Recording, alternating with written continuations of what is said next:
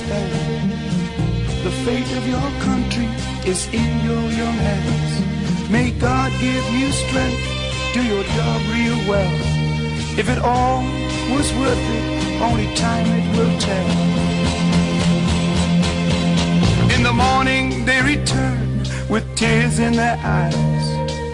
The stench of death drifts up to the skies. A young soldier so ill looks at the sky remembers the words, Thou shalt not kill.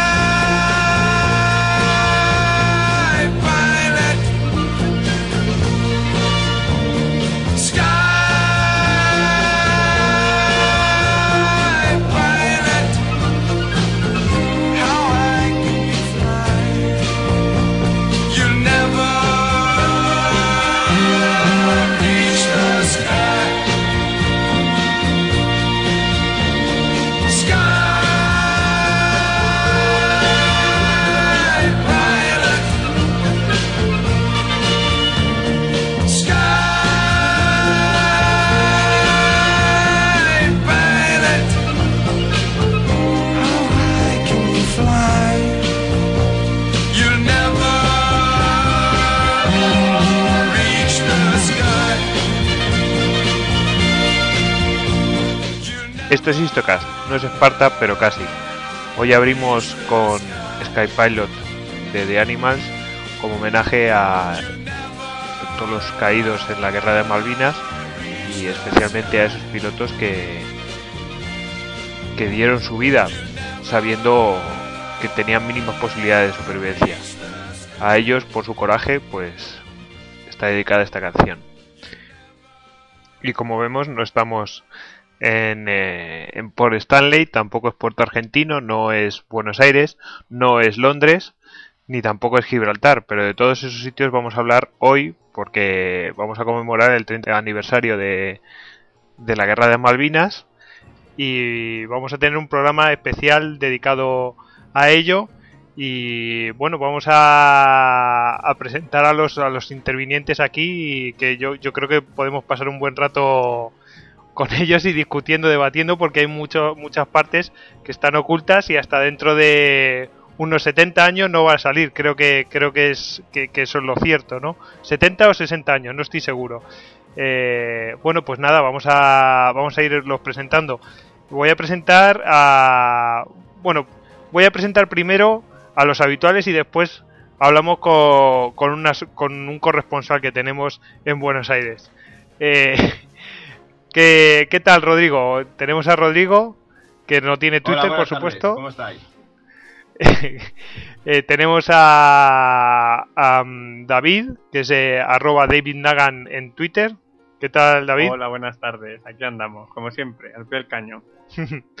y tenemos a, a Hugo Cañete, arroba Hugo A. Canete, y que también lo podéis encontrar en la página eh, www.gem.es. Eh, ¿Qué tal, Hugo? Pues Muy bien, muy buena a todos. Cierra España y cierra Argentina. Sí, desde, desde Málaga, que como veremos, también tuvo su papel en la guerra de las Malvinas. Ya, ya lo veremos, no adelantaremos nada. Y, y tenemos a nuestro corresponsal en Buenos Aires, eh, eh, Martín, eh, ese nombre tan argentino. Buenas noches, bueno, bueno, que allí que son buenos días, buenos días, Buenos Martín. días, acá, acá todavía son buenos días, yo. Ah, muy ¿Cómo bien. Todo bien, hola a todos.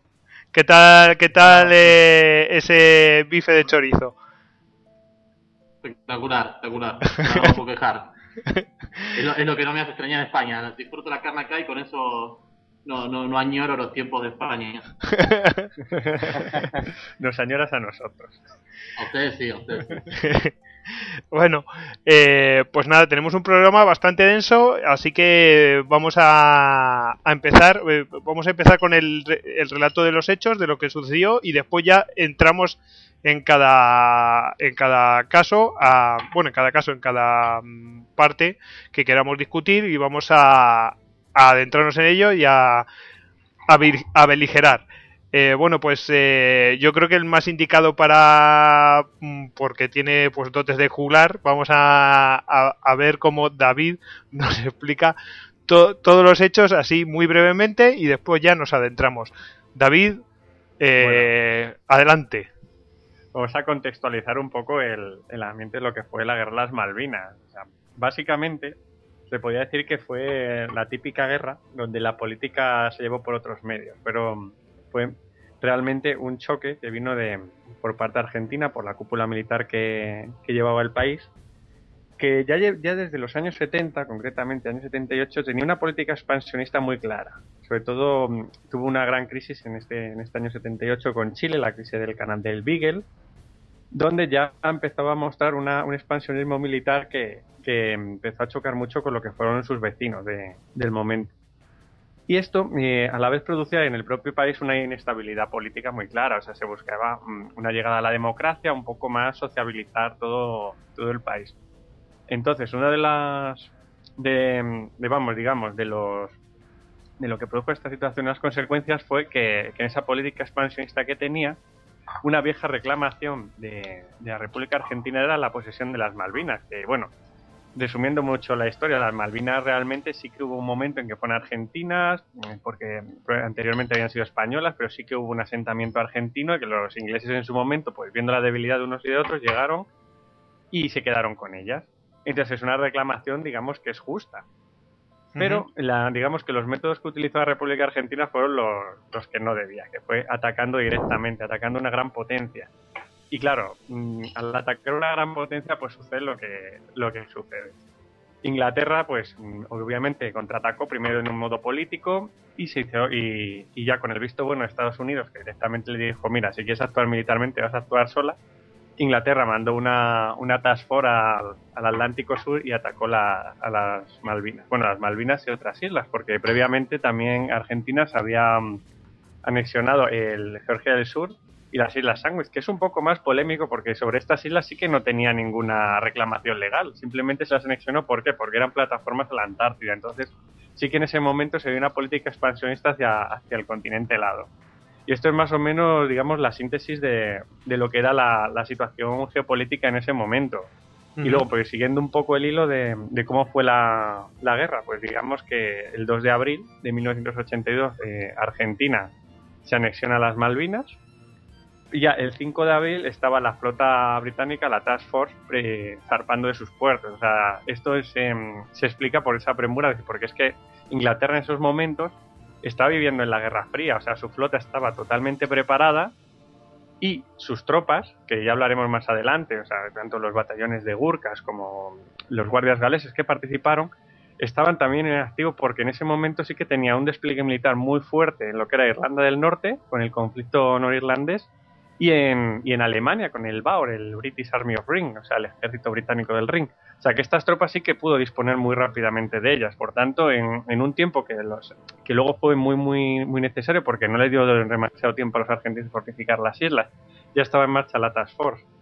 Uh -huh. Entonces, sí. pues un poco la cronología, la, o sea, el, digamos que el 12 de abril, pues la Task Force británica ya bloquea las islas, el 2 de mayo se produce el, el hundimiento del, del, el, del Ara Belgrano, o sea, uno de los barcos más importantes de la Armada Argentina, por el. Conqueror, un submarino nuclear, y a partir de ahí pues ya con, se empiezan los, lo que sería la guerra naval, buscando puntos de desembarco y cabezas de playa, donde bueno, se hunden, el, hunden varios destructores y, vaya, y varias fragatas inglesas, además de algunos transportes de tropas. Y bueno, a todo esto también hay que añadir una guerra aérea, donde incluso eh, se llegó a bombardear las Malvinas con bombarderos Vulcan que iban directamente desde Inglaterra, o sea, con una serie de reaprovisionamientos en vuelo. Uh -huh. Y nada, digamos que para resumir, el, el 28 de mayo ya había como unos 3.800 británicos en las islas avanzando directamente hacia Puerto Argentino y se las grandes batallas de Ghost Green primero y luego de los altos de Templedown, creo que se llama. Uh -huh. Y bueno, y llega el 30 de mayo, también una fecha muy mítica, luego veremos por qué, porque fue el, el supuesto, la supuesta avería o hundimiento del Invencible, uh -huh. del que ya debatiremos después. Y nada, entonces a partir de aquí, eh, el, eh, prácticamente Inglaterra fue poco a poco ganando, ganando la guerra hasta que el 14 de junio, eh, digamos que capituló el general a cargo de, Puerto Argentino. Ese es un resumen general de lo que fue la guerra de las Malvinas. Mm. Luego, eh, además, entre medias tenemos la batalla que hay en, en, la bahía de San Carlos, que es cuando empiezan ahí a desembarcar todo, prácticamente están desembarcando las tropas inglesas y luego mm. tenemos también algunos combates aeronavales que también destaca el de Sheffield, varios, desembarcos y varios combates a lo largo de, la guerra.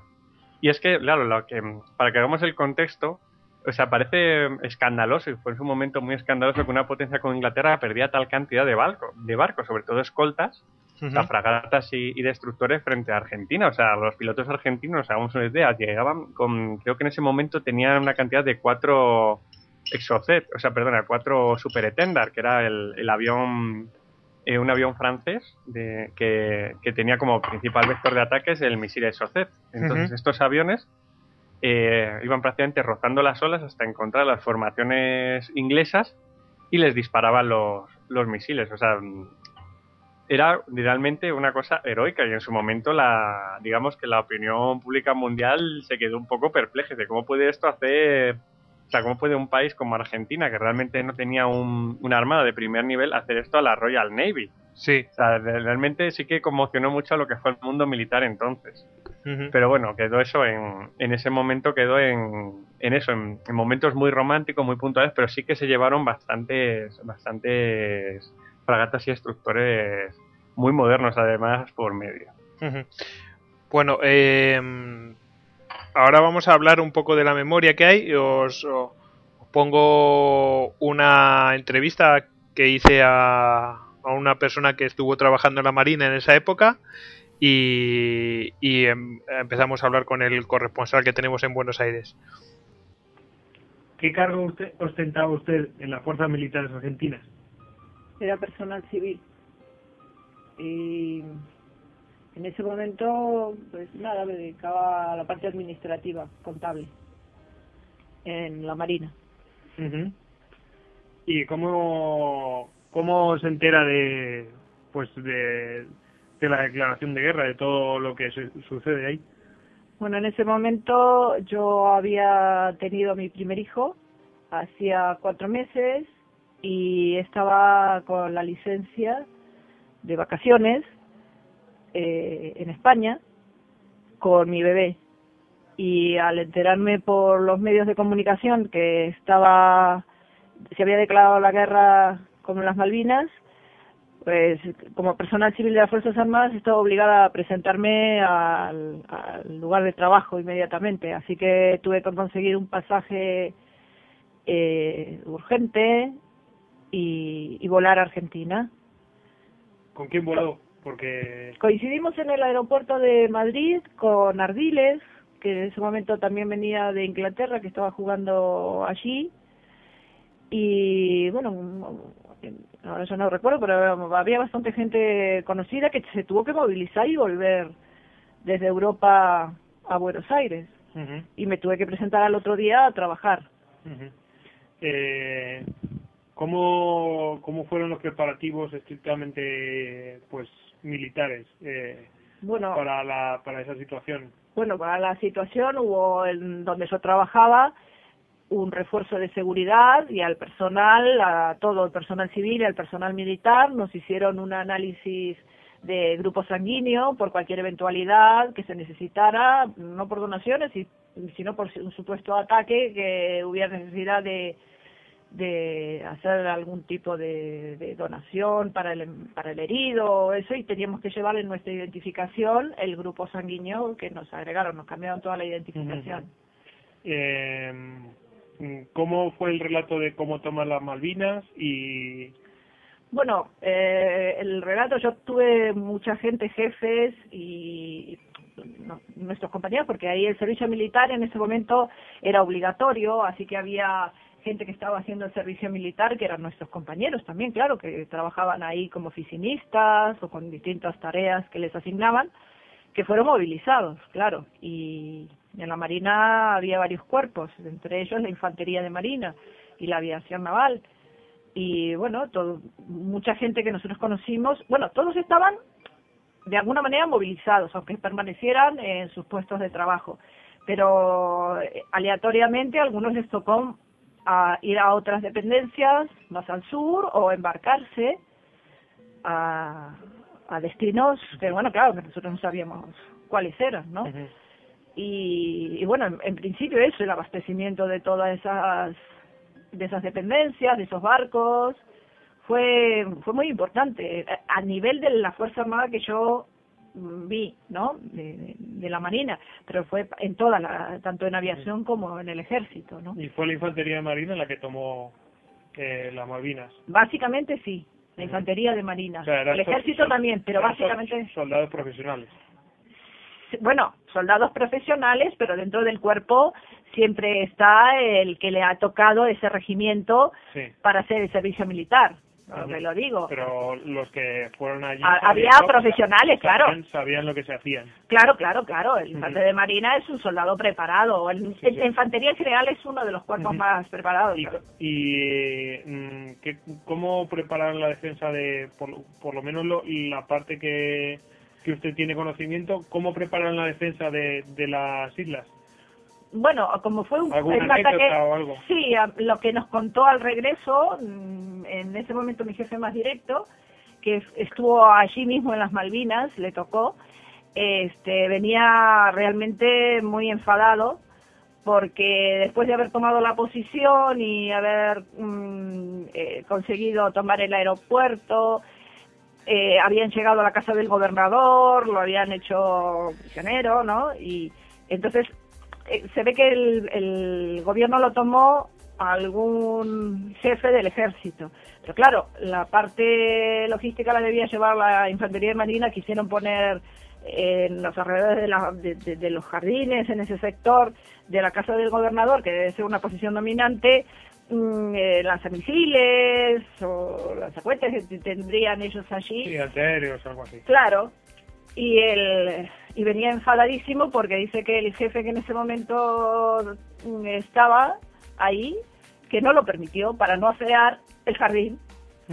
Y hablando de, de situaciones así también lamentables, eh, ¿nos puede contar eh, las razones, así muy sucintamente, de por qué, bueno, que cómo iban preparados los, los los reclutas que después llevaron los reclutas bueno los hay que hay que hacer mm, una gran diferencia del de cómo iban nuestros soldados a cómo iban los soldados eh, ingleses. El soldado inglés si yo no tengo mal entendido eran ya profesionales Sí, eso eran, primero. Lo eran, lo eran. Eh, los... Solamente pro, decir profesionales es, es, decir poco, porque era un cuerpo de élite lo que mandaban. Claro, porque eh, los nuestros eran chicos de 18 años, 20 años, y el equipamiento era el básico. Unos trajes de faena quizás un poco más gruesos, unas camisetas más gordas y dos jerseys. Para un, te, para un, para un clima templado, no para un clima de riguroso como el de las Malvinas, húmedo, frío, ventoso. Eh, y la verdad es que, claro, una guerra que se empieza sin una preparación, pues faltaba de todo. Faltaba de todo. Entonces, hay que decir que la guerra esa... Eh, la guerra fue, fue una, la, ¿Cuáles son las razones de la guerra y eso explicaría por qué iban tan mal preparados? Primero porque nunca se pensó a iniciar una guerra así. Lo que pasa que el eh, Galtieri, el general Galtieri, que era el que estaba como presidente de facto en ese momento, la situación interna era horrible, insostenible, crítica en economía, todo, era un desastre. Entonces, la manera de justificar y tapar todos los errores era con el patriotismo. Y claro, sabía que la gente le iba a responder con el patriotismo. Entonces dice, pues ¿qué tenemos adelante? Pues tenemos las Malvinas que yo creo sí, que son argentinas y está muy bien reivindicarlas. Pero ese no era el momento para hacerlo porque no se estaba preparado ni, ni, ni acondicionada nada, nada. Eh, teníamos lo que teníamos. Y, y, lo poquito que teníamos, con mucho esfuerzo. Si eran aviones propios como los que trabajaron eh, allí, era, era la ventaja que llevábamos, porque eran aviones de fabricación argentina, todo, uh -huh. todo el diseño y todo y el armamento rectificado de lo que se había vendido a Argentina de segunda mano. En Y este caso, entonces, en este caso son los, eh, te refieres a los exocet los exocet que los que se lo compraron a los franceses y los franceses lo vendieron no Mm, que mm. están sin calibrar bien. sin calibrar y los ingenieros mm, los calibraron y funcionaron. Funcionaron y funcionaron Ah, muy bien. ese- en el momento que hunden el, eh, el barco inglés, el Sheffield, también se habló, bueno, hay otro barco más afectado, incluso se habló de, de uno de los portaaviones ingleses. Allí, ¿cómo, cómo se vivió? Bueno, con mucha alegría, la verdad. Se vivió con, en el sentido, a ver si me entiende, eh, la alegría de un triunfo contra una gran potencia y en las condiciones que estábamos.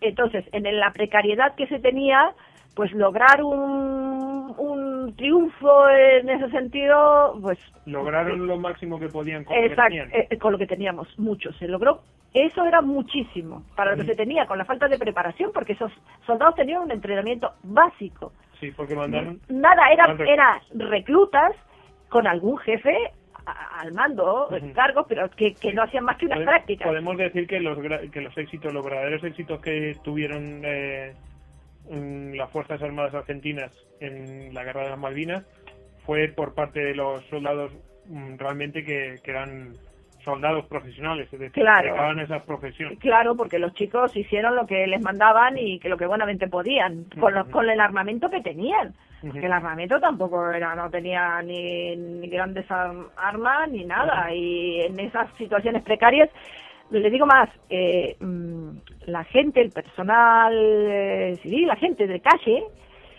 eh, empezó a hacer, a- las mujeres a tejer gorros, guantes, bufandas, calcetines, mandar ropa, el que no podía tejer, pues lo compraba y hacía donaciones de esas cosas que, Chocolatinas y tal cosa. Todo, todo, ¿Nos todo, puede todo. contar lo del- el- aquel momento de las chocolatinas, eso que fue un escándalo en Argentina? Bueno, el escándalo fue que después de mm, haber hecho como pequeños envíos de apoyo para esos chicos que estaban tan mal pertrechados con eso, con gorros, con guantes, con lo que se podía, se hacían paquetes. Era, la gente iba voluntaria a un recinto ferial a empaquetar eso con un chocolate, con una cartita de apoyo, de que les diera ánimo. Pasada la guerra, encuentran que en un comercio compran una chocolatina y dentro de la chocolatina hay una de las tantísimas cartas que se le habían escrito y se ve que la persona que compró esa chocolatina hizo la carta y la metió en el envoltorio. Entonces no se vio.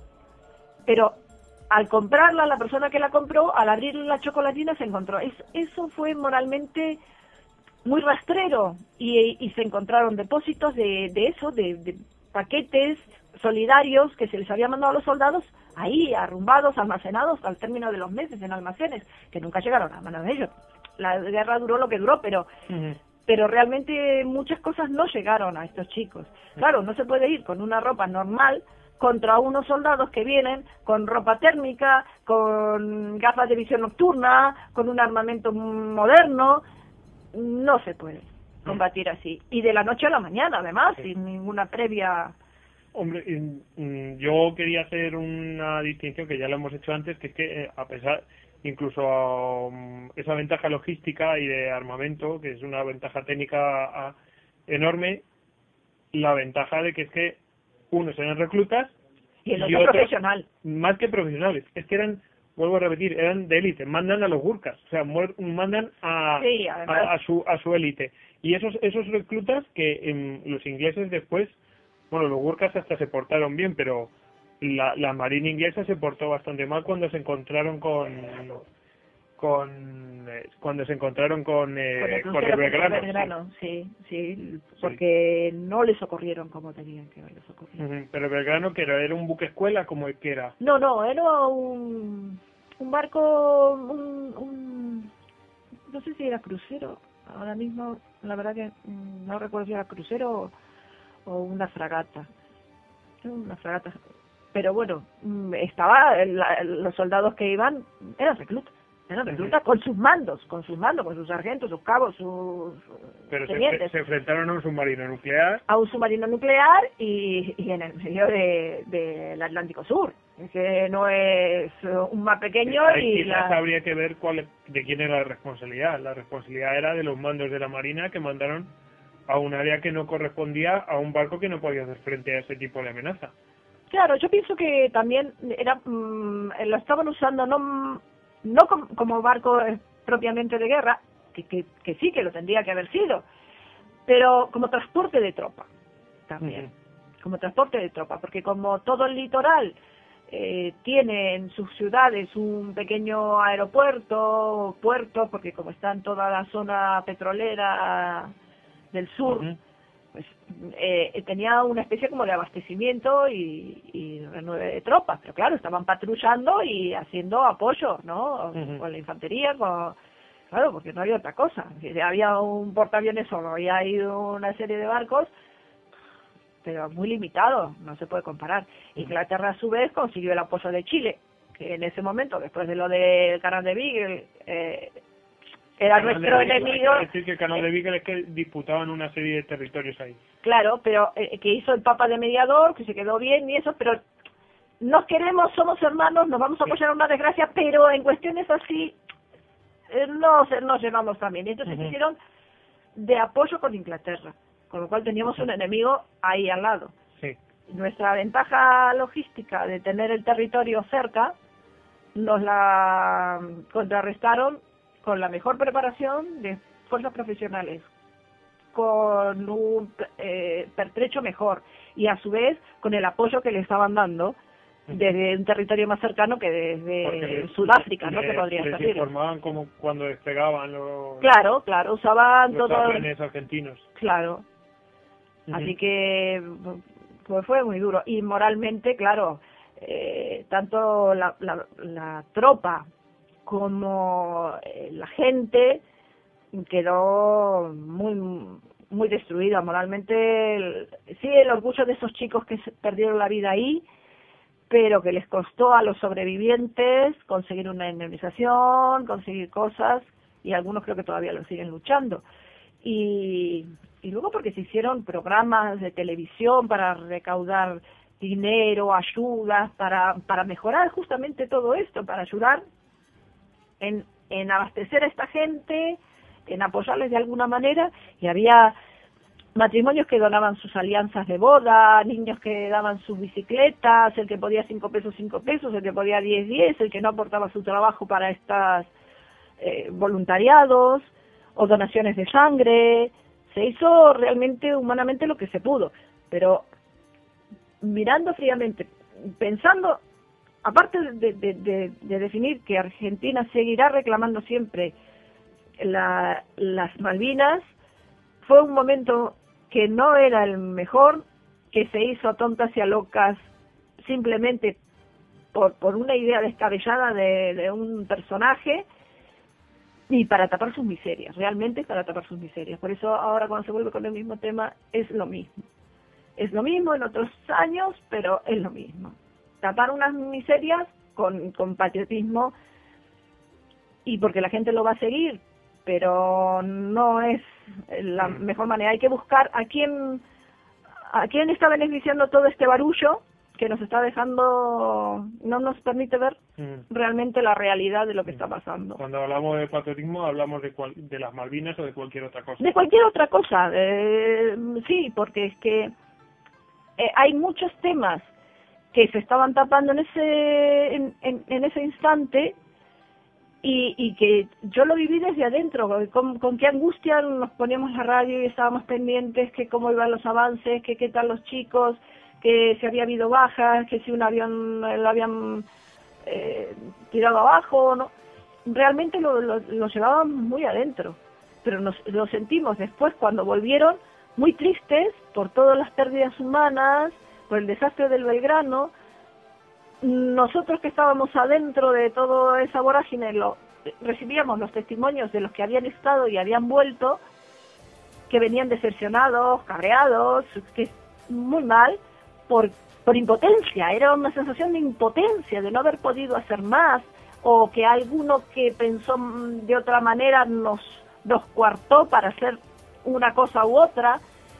Y claro, en los que quedamos en el territorio, que no teníamos más que seguir trabajando, pues dijimos, bueno, ¿y ahora qué hacemos?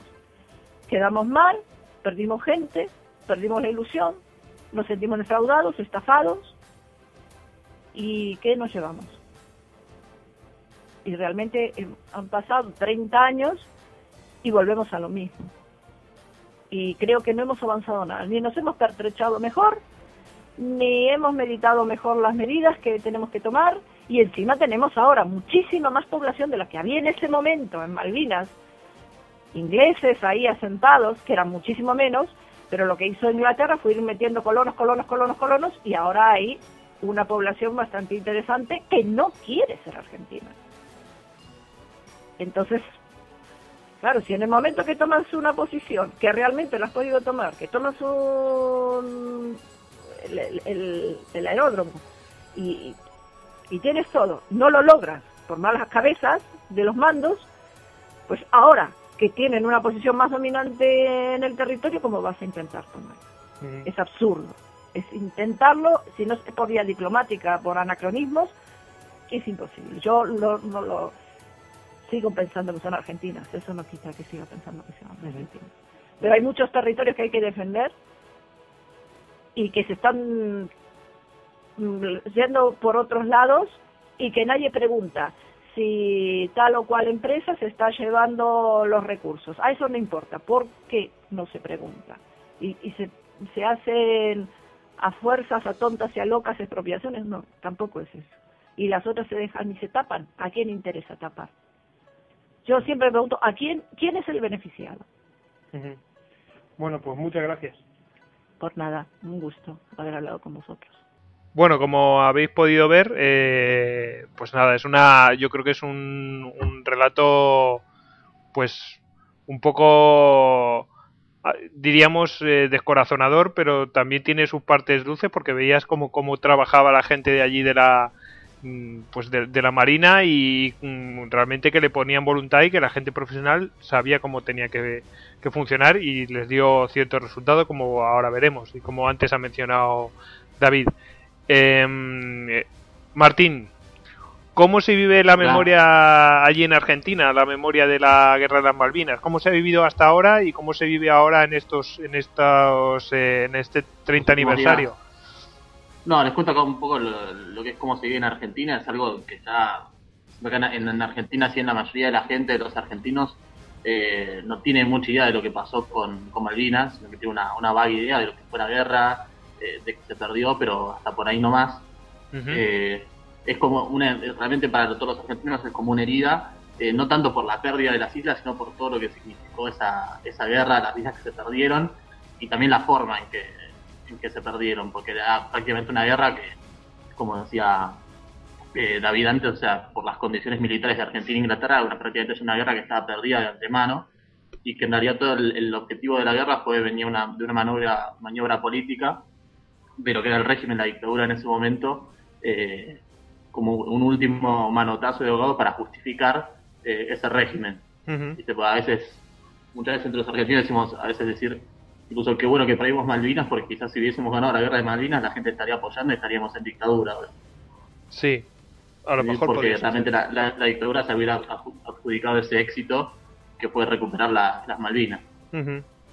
A pesar de ese pensamiento, eh, sí que existe como una especie de pues de reconocimiento a los combatientes y todo eso. Eh, ¿Te referís a, nivel del gobierno o a nivel social? Eh, bueno, sí, un poco. Yo he visto monumentos y todo eso. ¿Sabes? O sea, eh, vamos a ver, el gobierno, pues sí, erige monumentos y tal, pero luego la gente socialmente reconoce a los combatientes. Sí, sí, antes sí se le tiene mucho respeto. Sí, con el tema de los combatientes, por ejemplo, o sea, incluso con, el gobierno, vos estuviste en Argentina, ahí en Plaza de Mayo, sí, hay una hay una carta que es de excombatientes, que está desde hace ya unos cuantos años, que son combatientes que, que reclaman, además de la subvención que tienen, eh, un, mayor reconocimiento porque hay gente que después cuando volvió de la guerra no era la misma y tuvo muchos problemas para, para poder acondicionarse. Y hay gente que, si bien están reconocidos como excombatientes, eh, también tampoco se quedaron ni con una pensión digna ni nada como para poder llevar una nueva vida adelante. Y realmente ellos su vida la, perdieron cuando, cuando fueron a la guerra. O sea que todo esto era gente muy joven, de 18 o 20 años, eh, que después tuvieron que dejar todo y después cuando ya volvés de una guerra, te cuesta eh, volver y arrancar tu vida normal. Creo que nunca vas a volver a ser el mismo.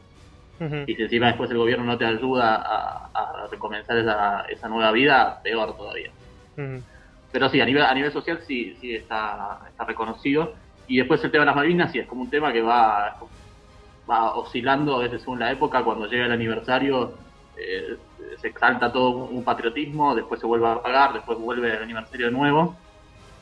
Y últimamente con lo que sería, eh, bueno, no sé hasta, cuánto, hasta qué punto llega Europa todo lo que fue en los últimos, el último mes, últimos dos meses, los que son los reclamos por Malvinas y la nueva actitud que toma Argentina, sí como que ya se empezó a politizar. Y, hoy, hoy, por hoy en el gobierno en día se está usando más como, más, allá del tema de la memoria, que me parece perfecto, eh, ya pasó a ser parte como una como un instrumento para, para la demagogia de este, de este gobierno actual que tenemos. O sea, eh, bueno, ¿alguno tiene alguna pregunta sobre ello? ¿Alguno de los otros intervinientes? Yo, yo tenía entendido que, que en, en un, ahí suele haber celebraciones de veteranos y en una de ellas incluso llegó a haber un presidente, cuando estuvo Dualde, llegó a estar allí con ellos eh, celebrando, la, celebrando el aniversario. No sé si eso ha vuelto a ser así o los políticos han seguido yendo o la gente del gobierno.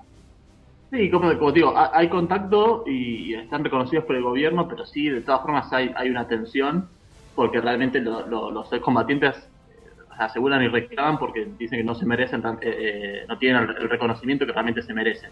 Y hablando de un tema a nivel económico directamente. O sea que si bien puede haber buenas relaciones y todo, o sea, hay una tensión entre los excombatientes y, la, parte política. Em, otra cosa, eh, tú evidentemente no, no viviste en las Malvinas, pero eso eh, cuando en el colegio o en el instituto o cuando lo tengáis que estudiar, eso realmente, ¿cómo, cómo eso te lo cuentan tus padres o directamente eh, o, los amigos o te enteras mm, por tu entorno o directamente se enseña en, eh, el sistema educativo?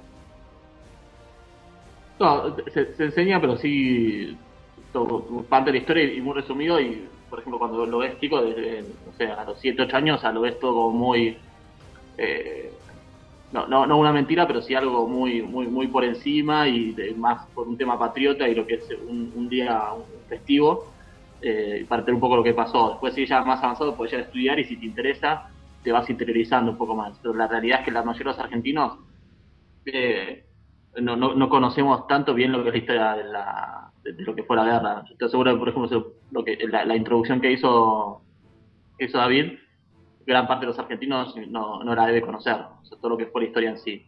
Lo único que saben es lo que les comentaba antes, o sea, que fue una guerra que ya estaba casi perdida de antemano que tuvo una, toda una maniobra de propaganda del gobierno en ese momento como para eh, conseguir el apoyo social, porque la realidad es que en ese momento toda la gente estaba apoyando la guerra.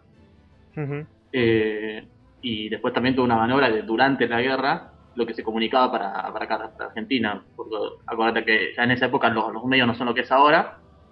Entonces realmente el, gobierno, la dictadura, tenía un, un, control muy importante de lo que era la información que se pasaba y lo que no.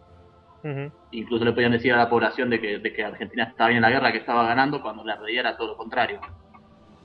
Eso. ese punto de toda, esa, de toda esa manipulación. E, eso lo hemos visto en otros sitios. Eh, vamos, en el caso de la guerra de Egipto contra Israel, los egipcios eh, por radio informaban de que estaban masacrando al ejército israelí cuando en realidad era todo lo contrario, estaba sucediendo lo contrario y es una la típica maniobra para intentar que no se desmorone la moral.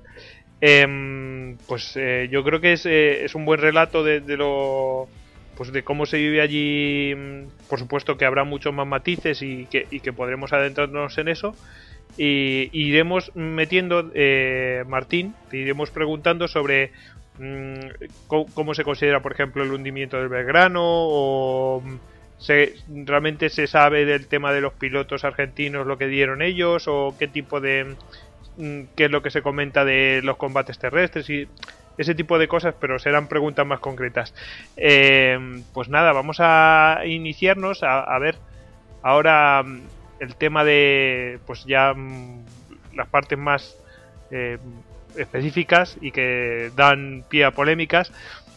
Eh, vamos a empezar por una parte que para sí para quitarle esta parte más pues un poco agria de, la guerra de Malvinas, vamos a contar el tema del ataque, bueno, del ataque del comando argentino en Gibraltar, porque hubo un comando argentino en Gibraltar eh, operando eh, durante la guerra de las Malvinas, ¿verdad, Hugo?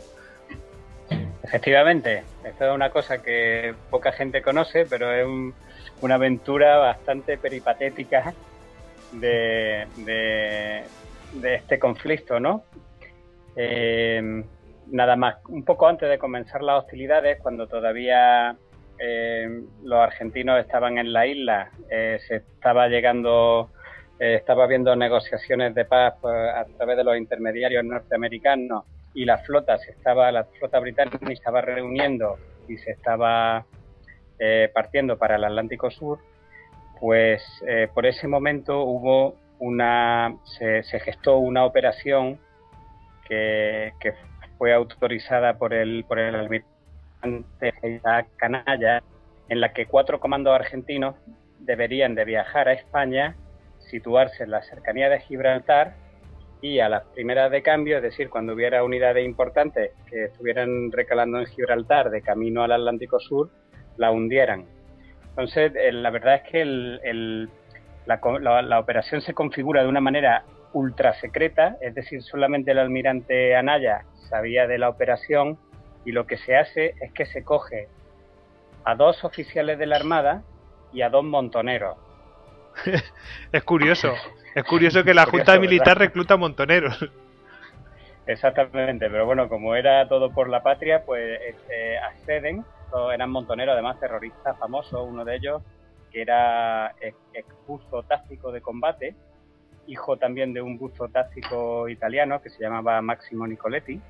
Este hombre en el año 75 había sido capaz de, infiltrarse en instalaciones militares argentinas y volar una, una de las fragatas británicas, o sea, una fragata, una de las nuevas fragatas argentinas que, era de procedencia británica y que estaba allí en los astilleros sometiéndose a, a la Santísima Trinidad, ¿no? me suena que sí que fue. O la Hércules, una de las dos sería. La Santísima Trinidad creo que fue. Trinidad. Y entonces, pues debido a esa experiencia, pues se ponen en contacto con él y con otros de los terroristas montoneros y acceden. Entonces, la operación consistía en que ellos tendrían que operar en la costa española, pero en caso de que los cogieran los, británicos, eh, estarían a su eh, a su suerte. No podrían decir en ningún momento que, eran eh, tropas argentinas y por tanto no se le aplicaría el convenio de, Ginebra. Sí. Eh, esta gente acepta y pues son Héctor Rosales, que era, había sido exoficial de la Armada, que iba a funcionar como enlace.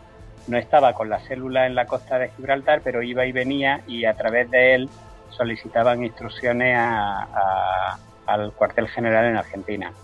Luego estaba el pelado Diego, que, también manejaba la clandestinidad en eh, nombres como Nelson Latorre o Miguel Ángel Castiglia, pero que nunca se ha llegado a saber quién es hasta el presente. Estaba el marciano,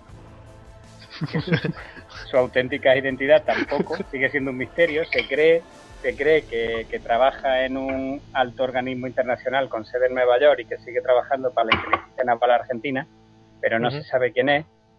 Y Máximo Nicoletti, que es el que más o menos ha hablado de esta operación el que, y el que sí se sabe quién es y además ha dado la cara en algunos documentales en, televisión, que es el buzo, eh, buzo, táctico y montonero en los años 70. Entonces la partida llega a Madrid vía París con, con pasaportes falsos y eh, eh, pues se cogen unos coches y se van directamente a Gibraltar, pues donde comienzan a observar el tráfico naval de la roca. Con anterioridad a esto, paran en Málaga y eh, se llegan al corte inglés de Málaga y en el corte inglés de Málaga compran, compran todo el material que necesitaban, que era una lancha, una lancha de goma fuera borda con un motor, eh, gafas, escafandra, etcétera. Y además contaba Nicoletti que se van precisamente al corte inglés porque al ser una gran superficie allí nadie le iba a preguntar eh, preguntas que pudiera ponerlo en, en, un brete, ¿no? Sino que, bueno, si hubieran ido a una tienda especializada seguramente hubieran intentado preguntarles que para qué la querían, que si esta era mejor que aquella, que, pero que en el corte inglés pues que nadie le hizo pregunta y allí ellos se, se compraron las cosas. Con y además la ironía era tremenda, ¿eh? Sí. sí, sí. Absolutamente. Pues la, las minas y explosivos eran de, de, procedencia italiana y se las habían hecho llegar a la costa también mediante otra operación, ellos no, la, no las traían. Así que el, el grupo eh, actúa de manera independiente, se, se, alquilan tres coches, en uno de ellos guardan todos los explosivos en el maletero y con los otros dos coches se mueven y entonces pues van cambiando cada cierto tiempo los alojamientos, eh, pero siempre pues en la zona del Algeciras, San Roque. Además cuenta, cuenta Nicoletti que, que muy a menudo pues iban al casino de Puerto Banú y entonces se lo estaban pasando bastante bien en la costa. Y al ¿no? bingo y todo, ¿no? sí, sí, exactamente. Y entonces el día 2 de mayo ven que una fragata y un transporte militar entran en Gibraltar. Y entonces rápidamente se ponen en contacto con Héctor sí. y, eh, para que solicite permiso a Buenos Aires para actuar. Y sin embargo la respuesta que le llega a Argentina es que no, que no hagan nada porque se están llevando a cabo unas negociaciones con los intermediarios americanos y que pues si, si atacan pues que se pueden se pueden venir al suelo, ¿no? Sí. Nicoletti cuenta que toda aquella tarde estuvieron él y sus compañeros, sus otros dos compañeros, eh, discutiendo si aún así de, debían o no debían ir a Gibraltar a hundir los barcos y finalmente, bueno, pues deciden que no. Y entonces dice Nicoletti, y esa misma noche hunden el Belgrano. ¿no? Como diciendo, sí. qué mala pata, ¿no? Y entonces, sí. claro, mm. ya cuando, cuando ya por fin hunden el Belgrano, eh, piden otra vez instrucciones a Argentina y además les, les preguntan que si es posible que, es, que, que, van a actuar sí o sí, que si es posible que se puedan identificar como soldados argentinos. Y entonces se les vuelve a denegar otra vez desde Buenos Aires esa posibilidad. Aún así ellos pues deciden que lo primero que entre en Gibraltar lo van a hundir y eh, comienzan a investigar, incluso en una ocasión se montan en la barca porque ellos habían observado que en, el, en la en las instalaciones militares pues había unas torretas de vigilancia y, y necesitaban ver a ver, pues cómo estaba montado el dispositivo de seguridad para ver cómo entraban de noche. Y entonces se acercan con la barquita que habían comprado y con los equipos de pesca una tarde y se dan cuenta de que toda la zona militar está prácticamente desguarnecida, que allí ni hay vigilancia ni hay nadie. Entonces se dan cuenta, se dan cuenta de que una de dos, o eso es un descuido grande de los británicos o eh, que realmente no es que no Gibraltar no va a ser una, un sitio de paso para las unidades británicas. Entonces se lo replantean y llegan a la conclusión de que eh, como quieren hundir algo, pues van a hundir una corbeta que hay en Gibraltar, allí basada, que es de, de, de patrulla naval, ¿no? de allí. Costera. Una de patrulla costera, exactamente. Pero claro, en, en, en, esa, en esas que estaban, resulta que, Héctor, cuando se ponía en contacto con Madrid para solicitar permiso a Buenos Aires, lo hacía a través de la Embajada Argentina. Y la, las comunicaciones entre la Embajada Argentina de Madrid y Buenos Aires habían sido descifradas por los británicos. Con lo cual los británicos se enteran de que hay un comando argentino en, la, en frente de Gibraltar esperando una ocasión propicia. Y ahora el dilema que se les presenta a los británicos es si deben avisar al gobierno español eh, porque claro, si avisan al gobierno español puede pasar que los detenga o puede pasar que el gobierno español se haga loco, incluso les pueda facilitar a los comandos la, su, su, actividad. Sí. Y, eh, pero claro, en estas que los británicos están pensando qué hacer, pues resulta que, que habían ido tantas veces ya a renovar los contratos de los coches alquilados que el jefe de, de tienda en Málaga sospecha. Y entonces avisa al comisario de policía de Málaga de que hay una serie de individuos en la costa que manejan bastantes coches alquilados que los están renovando mucho y que nunca están en, la dirección donde dicen estar en el, en el, contrato. Y entonces el comisario de Málaga les, dice que la próxima vez que aparezca uno de ellos a renovar el contrato, que los avise. Así que cuando llega uno de los tres a renovar el, contrato de, alquiler del coche, está allí la policía española esperándolo y lo detienen. Lo detienen, se lo llevan a comisaría en Málaga y, eh, y entonces se produce, un, se produce un, una situación bastante cómica porque el comisario español creía que, creía que eran narcotraficantes y entonces después de mucho hablar pues ya por fin eh, uno de ellos dice eh, dice le dice al comisario bueno que sepa que yo soy oficial de la Armada Argentina y estoy aquí en una misión secreta desde este momento me considero prisionero de guerra y no diré ni una palabra más. y, dice el comisario español, dice, si tú eres marino argentino, yo soy sobrino del Papa. Qué tío. Así que, que, rápidamente detuvieron, ordenó que se detuvieran a los otros dos miembros que estaban en, a Nicoletti y al otro que estaban en San Roque.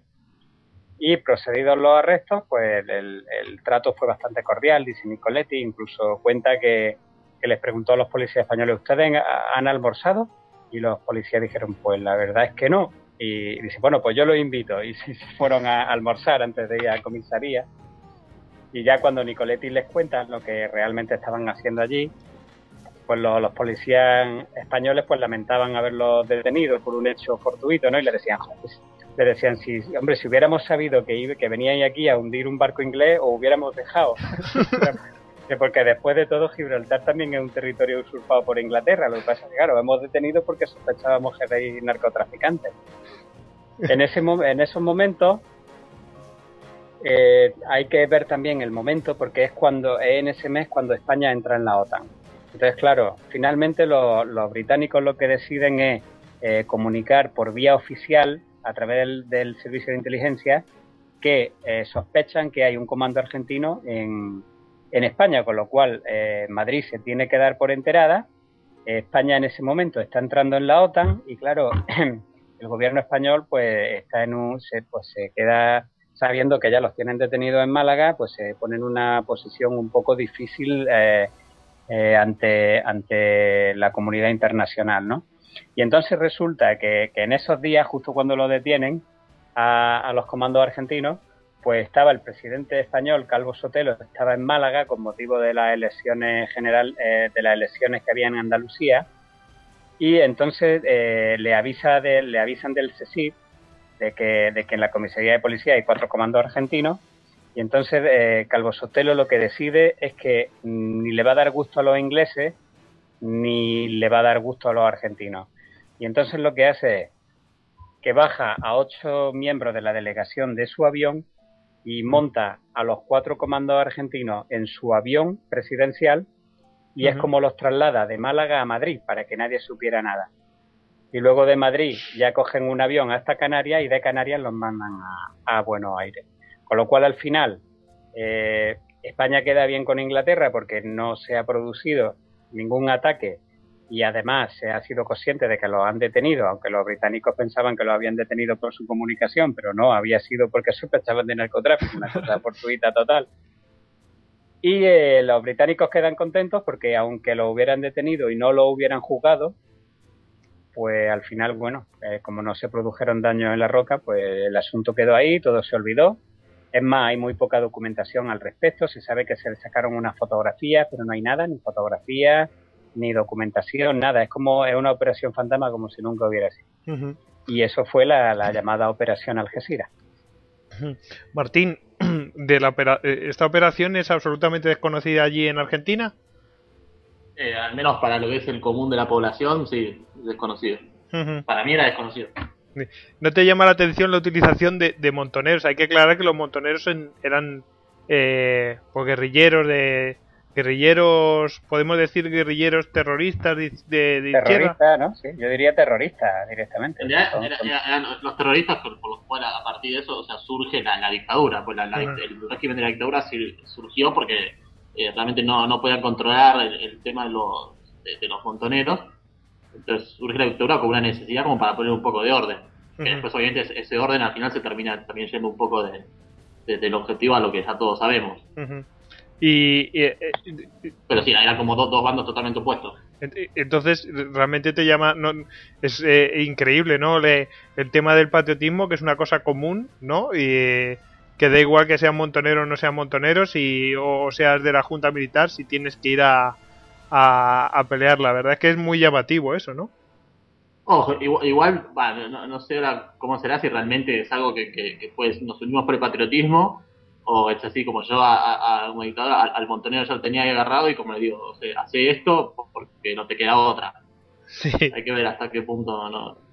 Hombre, una vez, una vez como que acá, como hoy en día, como es en, como es en las películas, viste que esto que los obligan a, a cooperar al enemigo, viste, con tal de darles alguna cosa a cambio, alguna cosa así. Yo estoy con Martín. Yo creo que en el fondo la guerra hace extraños compañeros de cama. O sea, Sí. se puede hacer, se puede negociar mucho ahí. Yo creo que podía ser una cosa mixta, porque luego cuando están en España podían haberse escapado o haber hecho lo que les da la No, gana. sí, no, no, pero Ni- Nicoletti habla, eh, y además él lo dice, hay un documental que se puede en YouTube está, eh, Operación Algeciras, se pone en el buscador y sale, y Nicoletti, que era montonero, él habla perfectamente de que estaba orgullosísimo y de que él era el primero que quería hundir un barco inglés y que iba por todas, aun sabiendo que no sería ni siquiera tratado como prisionero de guerra. Y el almirante Anaya, hablando de Nicoletti y de los otros montoneros, decía, eh, dice, sale en el documental diciendo que esos hombres podrían haber cometido errores en el pasado, pero que se portaron como verdaderos argentinos, ¿no? Con lo cual ahí, eh, si es contra un enemigo exterior, estaban todos perfectamente ali- alineados. Eso es lo que han sacado de españoles, ¿no? Bueno, lo, lo dices por la frase esa famosa que se supone que se dijo. De De, Thatcher. la- bueno, no- algunos la atribuyen a Thatcher, otros la atribuyen a un general, otros al ministro de Defensa. Esa que dice, ahora veremos cuánta cantidad de sangre hay de, de españoles y hay mucha cantidad de sangre españoles de, en los argentinos. La guerra será dura para nuestros chicos o si sale mucha sangre de italianos que la guerra durará horas. Bueno, sí, eso yo creo que es un poco esa frase yo creo que tiene un poco de fake porque no la he buscado y no no, no, no, no se encuentra el origen ni, ni quién es exactamente. O sea que está ahí, es un poco leyenda urbana, ¿eh? No, no sé si alguno tiene algún dato sobre ello. No sé, pero Ah. tiene razón, tiene razón David, ¿eh? pobres italianos, en, todo, en todos los podcasts les pero- cae alguna. Es que nosotros nos hacemos eco. No sé, nosotros no tenemos ninguna animadversión por los italianos, pero es verdad que nos hacemos eco pues, de lo que se habla de ellos en, en las campañas que hayamos estado hablando. Bueno, Incluso es alguna vez lo que hemos- Italia lo Italia ha sido un desastre militar siempre, o sea, es Sí. verdad, pero bueno, no los italianos como italianos, sino como país. Bueno, ahora va- vamos a hablar realmente de, la, de las operaciones militares allí, cuando los argentinos toman directamente las Malvinas, envían a la infantería marina y que realmente reduce un número mm, bastante, yo creo que, bueno, los, los rinde directamente a los, a los ingleses. Eh, creo que ahí actuaron de, de manera bastante más profesional que, que lo que, que el resto de soldados en el contraataque inglés. No, no sé cómo lo veis vosotros. Hombre, es que hicieron una finta, me parece, me parece recordar que fue que como invadieron primero las, las islas de, de Georgia del Sur, pues mandaron los británicos al Endurance con lo que es el grueso de la guarnición de las Malvinas, pues para poner orden en, en Georgia del Sur. Y aprovechando que el Endurance, que era un, un, este, un, un rompehielos, había partido hacia el sur, aprovecharon los argentinos para invadir las Malvinas. Y la invadieron con tropas de, de élite, o sea, no, no invadieron con cuatro tíos saltando en la ancha, no, o sea, fueron los, los buzos tácticos, fueron la, la infantería de marina, o sea, gente muy preparada. El batallón de infantería marina, el BIM. Eh, bueno, los rinden, los, los ingleses eh, contraatacan.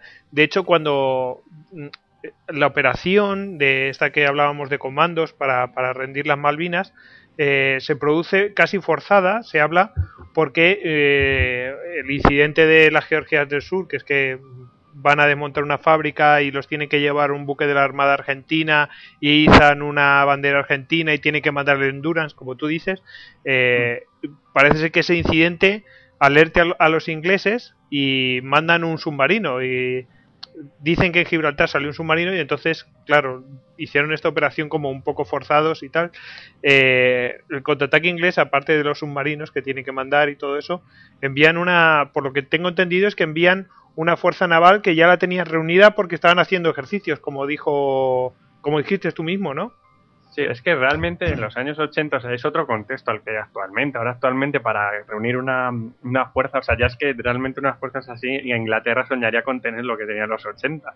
Ujú. O sea, tenía casi más de 40 buques de escolta, o sea, una fuerza muy, muy considerable. Mm. Y, y realmente lo que ocurre es que esa fuerza estaba totalmente, mm, o sea, como si fuera en stand-by, preparada para salir a lo que era su misión principal. O sea, toda la Royal Navy en ese momento está configurada para, para cerrar el paso entre, entre Islandia y Escocia a la Marina Soviética. O sea, era una marina muy ideada para, para eso. O sea, desde su buque capital, que eran los portaaviones, hasta, mm, hasta los, los buques más pequeños, los que son los contramías, está todo preparado para una guerra contra submarinos, o sea, contra submarinos y, y buques soviéticos. Entonces, esa, esa, mm, lo que vemos, esa Task Force ya estaba preparada, o sea, realmente lo único que tenían era que reclutar a las tripulaciones rápidamente y partir, o sea, realmente, si vemos las fechas, el 2 de abril es cuando comienza el incidente de las Malvinas, y el 5 de abril ya estaba la Task Force partiendo de los puertos de Plymouth y Portsmouth. Pues sí. Em, bueno, aquí en el contraataque, bueno, el contraata- yo le llamo contraataque inglés. eh, hay que decir que realmente el poder que tenían los ingleses eran dos, apa- aparte de los submarinos nucleares, que eso ya nosotros hablamos de guerra convencional, ya no hablamos de cosas que de guerra nuclear que podían haber, que podía haberse dado en otro contexto, pero sola- solamente hablamos de guerra convencional. Lo- los ingleses el, el poder que tenían eran dos, dos portaaviones. En realidad era el poder y eran los dos pilares. Si se derribaba uno de ellos, caía todo prácticamente. Eso es lo que ellos mismos, los ingleses, reconocen. Bueno, es que yo, en mi opinión, y luego ya me corregirá Hugo, que es un gran experto en, en lo que es el tema naval, pero yo creo que la, la Armada Británica en ese momento era un poco Pancho Villa.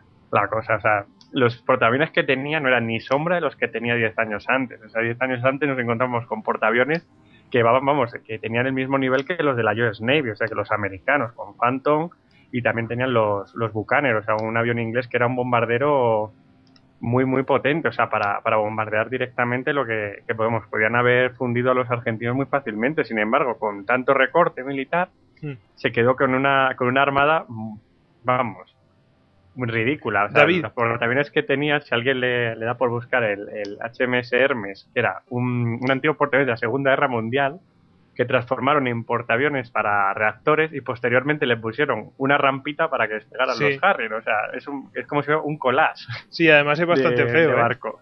Es bastante feo. El Y- que lo busque en internet, que lo vea, que tiene una rampa que, es, que, es- que queda fea, fea, fea. Sí, y el A Royal, que fue construido, es profeso también con esa, perdona, la, la clase A Royal, es que le- siempre os confunde Sí. el Invencible, Sí, que el- que después. también fue construido, es profeso, el, el barco con esa rampa para, para llevar Harrier. Ujú. Entonces, eran barcos, o sea, que aunque eran portaaviones, pero estaban muy, muy limitados. O sea, si comparamos, por ejemplo, el Invencible con el Príncipe de Asturias, que fue un poco más posterior, vemos que lleva muchos menos aviones, pero llevando una, un tonelaje mayor. O sea, eran barcos muy de transición, no sé, un, un diseño que tampoco iba muy allá. Luego, todo lo que era la escolta británica, pues destructores y fragatas, Sí. que bueno, que cuando se vieron en, en situaciones de combate se encardían por los cuatro costados, o sea, con Mm. materiales malos. Mm, hubo hubo un tipo de fragatas como que creo que era la Arden, las fragatas tipo Arden, que incluso estaban hechas para la exportación y habían hecho, eh, estaban hechas con materiales plásticos, y es que ardían con nada. Claro. Entonces vemos que realmente la fuerza británica, aunque era la poderosa Royal Navy, pero no era tan poderosa, o sea, era muy factible de ser derrotada. Y yo creo que los británicos lo sabían, iban un poco también con esa, con esa mosca atrás de la oreja. Eso sí, era muy poderosa en número. Em, Sí. lo, lo que incluso incluso la aparte de las unidades puramente navales luego la todo lo que todo lo que es tropa y, y material de transporte como helicópteros etcétera no tenían ni buques de proyección logística ni nada iban metidos en cargueros como el Atlantic Conveyor eh, de Sí. mala manera entre si veis alguna foto pues están protegidos con los contenedores en los laterales y luego en la cubierta adentro pues están mm, puestos los helicópteros los Harrier de de, de refuerzo, etcétera. O sea, era, Yo creo que lo de Pancho Villa lo, lo define perfectamente, la, la flota que fue el Atlántico Claro, Sur. parece una flota heroica, pero realmente, o sea, eso es una cosa que yo, que a los ingleses yo se la lobo mucho, y es que realmente no tienen ningún miramiento con la estética, o sea, lo que tenían a mano lo utilizaban de forma práctica. Y, y realmente, o sea, el ejército que llevaron era muy, muy, como se suele decir, ad hoc, o sea, todo lo que fueron eh, recogiendo de los distintos destacamentos que, ten- que tenían y lo pusieron sobre la marcha. Eso sí, también hay que decir que lo que realmente da una fuerza que, que yo creo que inclinaba mucho la balanza del lado inglés era su fuerza de submarinos. La fuerza de submarinos es lo que obligó a la, a la Armada Argentina a estar en puerto. Mm, De hecho, el primer eh, fogonazo fue, fue esa. O sea, la acción del Belgrano que directamente los, los- bueno, es polémica porque según dicen los argentinos, pues, pues no socorrieron como debían haber socorrido a, a los a los supervivientes del mm, pues de- del Hombre, también, también el Belgrano iba, iba escoltado por dos, por dos eh, fragatas que, claro, en cuanto se produjo el ataque, obviamente lanzaron cargas de profundidad, por lo que el submarino salió allí pitando. Sí, no me extraña. Eh, yo iba a haceros un- una pregunta que es que, eh, bueno, en uno de estos documentales de What If, en el cual realmente ellos basan todo en, en- en cosas que son ciertas, que por ejemplo que eh, Margaret Thatcher tenía eh, previsto directamente desmantelar el tema de los de los portaaviones en, a finales de año, con lo cual si la guerra se hubiera desarrollado un año después, pues es que a lo mejor Inglaterra no tenía portaaviones para hacer frente a esta, esta, a esta guerra. Pues mira, 30 años después cómo andan, ya están sin portaaviones. Claro. El- por la polémica de- del Invincible, eh, sabemos que estaban produciendo varios, no para ellos mismos, para venderlos a la India y Australia, pero, pero eso es lo que, lo que se sabe, ¿no? Sí, pe- en, en, en algún caso se los hubieran quedado, yo creo. No sé qué de todas opinas. Hugo. maneras, digamos que Gran Bretaña, mira, como dato, en la última crisis así gorda que tuvo, porque claro, las expediciones británicas a lo largo del siglo XX, todo el mundo lo ve como mm, en plan de, oh, el, el imperio británico, pero fueron todos grandes fracasos, desde la, la British Special Force en la Primera Guerra Mundial hasta la crisis de Suez, o sea, siempre acababa manga por hombro. Pues en la crisis de Suez, contra que Francia y, y Inglaterra se unieron para forzar el canal de Suez eh, con- eh, contra Egipto, eh, de- creo que Gran Bretaña alineaba un total de 14 portaaviones. Y eso fue en el año 56. Joder. O sea que realmente todos esos portaaviones, vale, que muchos fueron dados de baja, pero también inundaron mucho el mercado de, de portaaviones, digamos, de, de terceros países. O sea, se vendieron a, a, a la India. Por ejemplo, el que tenía Inglaterra, el, el 9 de mayo creo que se llamaba, el portaaviones argentino. Sí, Mm, sí, 9, de mayo creo. 9 que de mayo, creo. Creo que era un portaaviones que previamente era holandés, pero que previamente había sido británico y que comparte, bueno, que era el, el casi hermano, la, evolución de portaaviones del Hermes. O sea, y fíjate que, que años después se volvieron a encontrar en una guerra. Pues sí. O sea, que, que realmente lo del el poder proyectado de Inglaterra con los portaaviones a lo largo del siglo XX ha ido decreciendo de una forma brutal. Y, y luego lo que decía Rodrigo, luego todo eso, el, el gran nudo desenlace es el momento eh, polémica con el Invisible. Ujú. Eh, ibas a- iba mm, ya, bueno, nos metemos directamente yo creo que en la, en la guerra aeronaval. O sí, vamos a meternos en la guerra aeronaval. Eh, vamos a meternos en el tema del Sheffield y de- del Exocet y, y luego nos metemos en la batalla de la bahía de San Carlos, yo creo, y nos metemos con el Invincible también. ¿Os parece? Eh, vamos a ver. eh, la guerra eh, prácticamente la- los tiros se desatan cuando cuando eh, hunden el Invincible, hunden el submarino inglés, hunde, uy, hunden el Invincible, hunden el, el Belgrano y los argentinos responden prácticamente al día siguiente y lanzan un ataque contra pues contra una formación que, que encuentran en el radar, bueno, que ya había sido avisado y tal, y utilizan pues los Supertendar, que son unos eh, son a ver, son bombarderos, ¿no? ¿Me equivoco o no? Sí, digamos, son, son aviones muy específicos navales. Sí, Es- casi casi se diseñó como vector del SOCEP. sí, para lanzarlo, O sea, claro. se, se diseñó es profeso para ese misil, para, para el lanzamiento de misil. Por lo tanto, era un arma muy, muy especializada. Hay que decir que el Exocet, eh, o sea, se consideraba que podía ser bueno, pero realmente no se había. sí se había utilizado en combate, pero no se había utilizado de esta manera tan eh, pragmática, o sea, digamos, con, estos resultados. Y, todo el mundo quedó impresionado porque lo que pasó fue que los, los argentinos lanzaban los a sus a los superetendar, los lanzaban eh, prácticamente a, ras de mar. Hay un tipo de navegación, no se podía. Es distinto el piloto de, de, eh, la. De, aviación que el piloto de marina no, no tiene nada que ver hay que eh, volar sobre las olas y a muy baja altura para evitar el radar pero luego para, para por lo que he leído, para lanzar el Exocet tenía que levantar altura, detectar en el radar a los buques enemigos, eh, ver cuál era la orientación y, lanzar el Exocet y el Exocet ya lo hacía todo.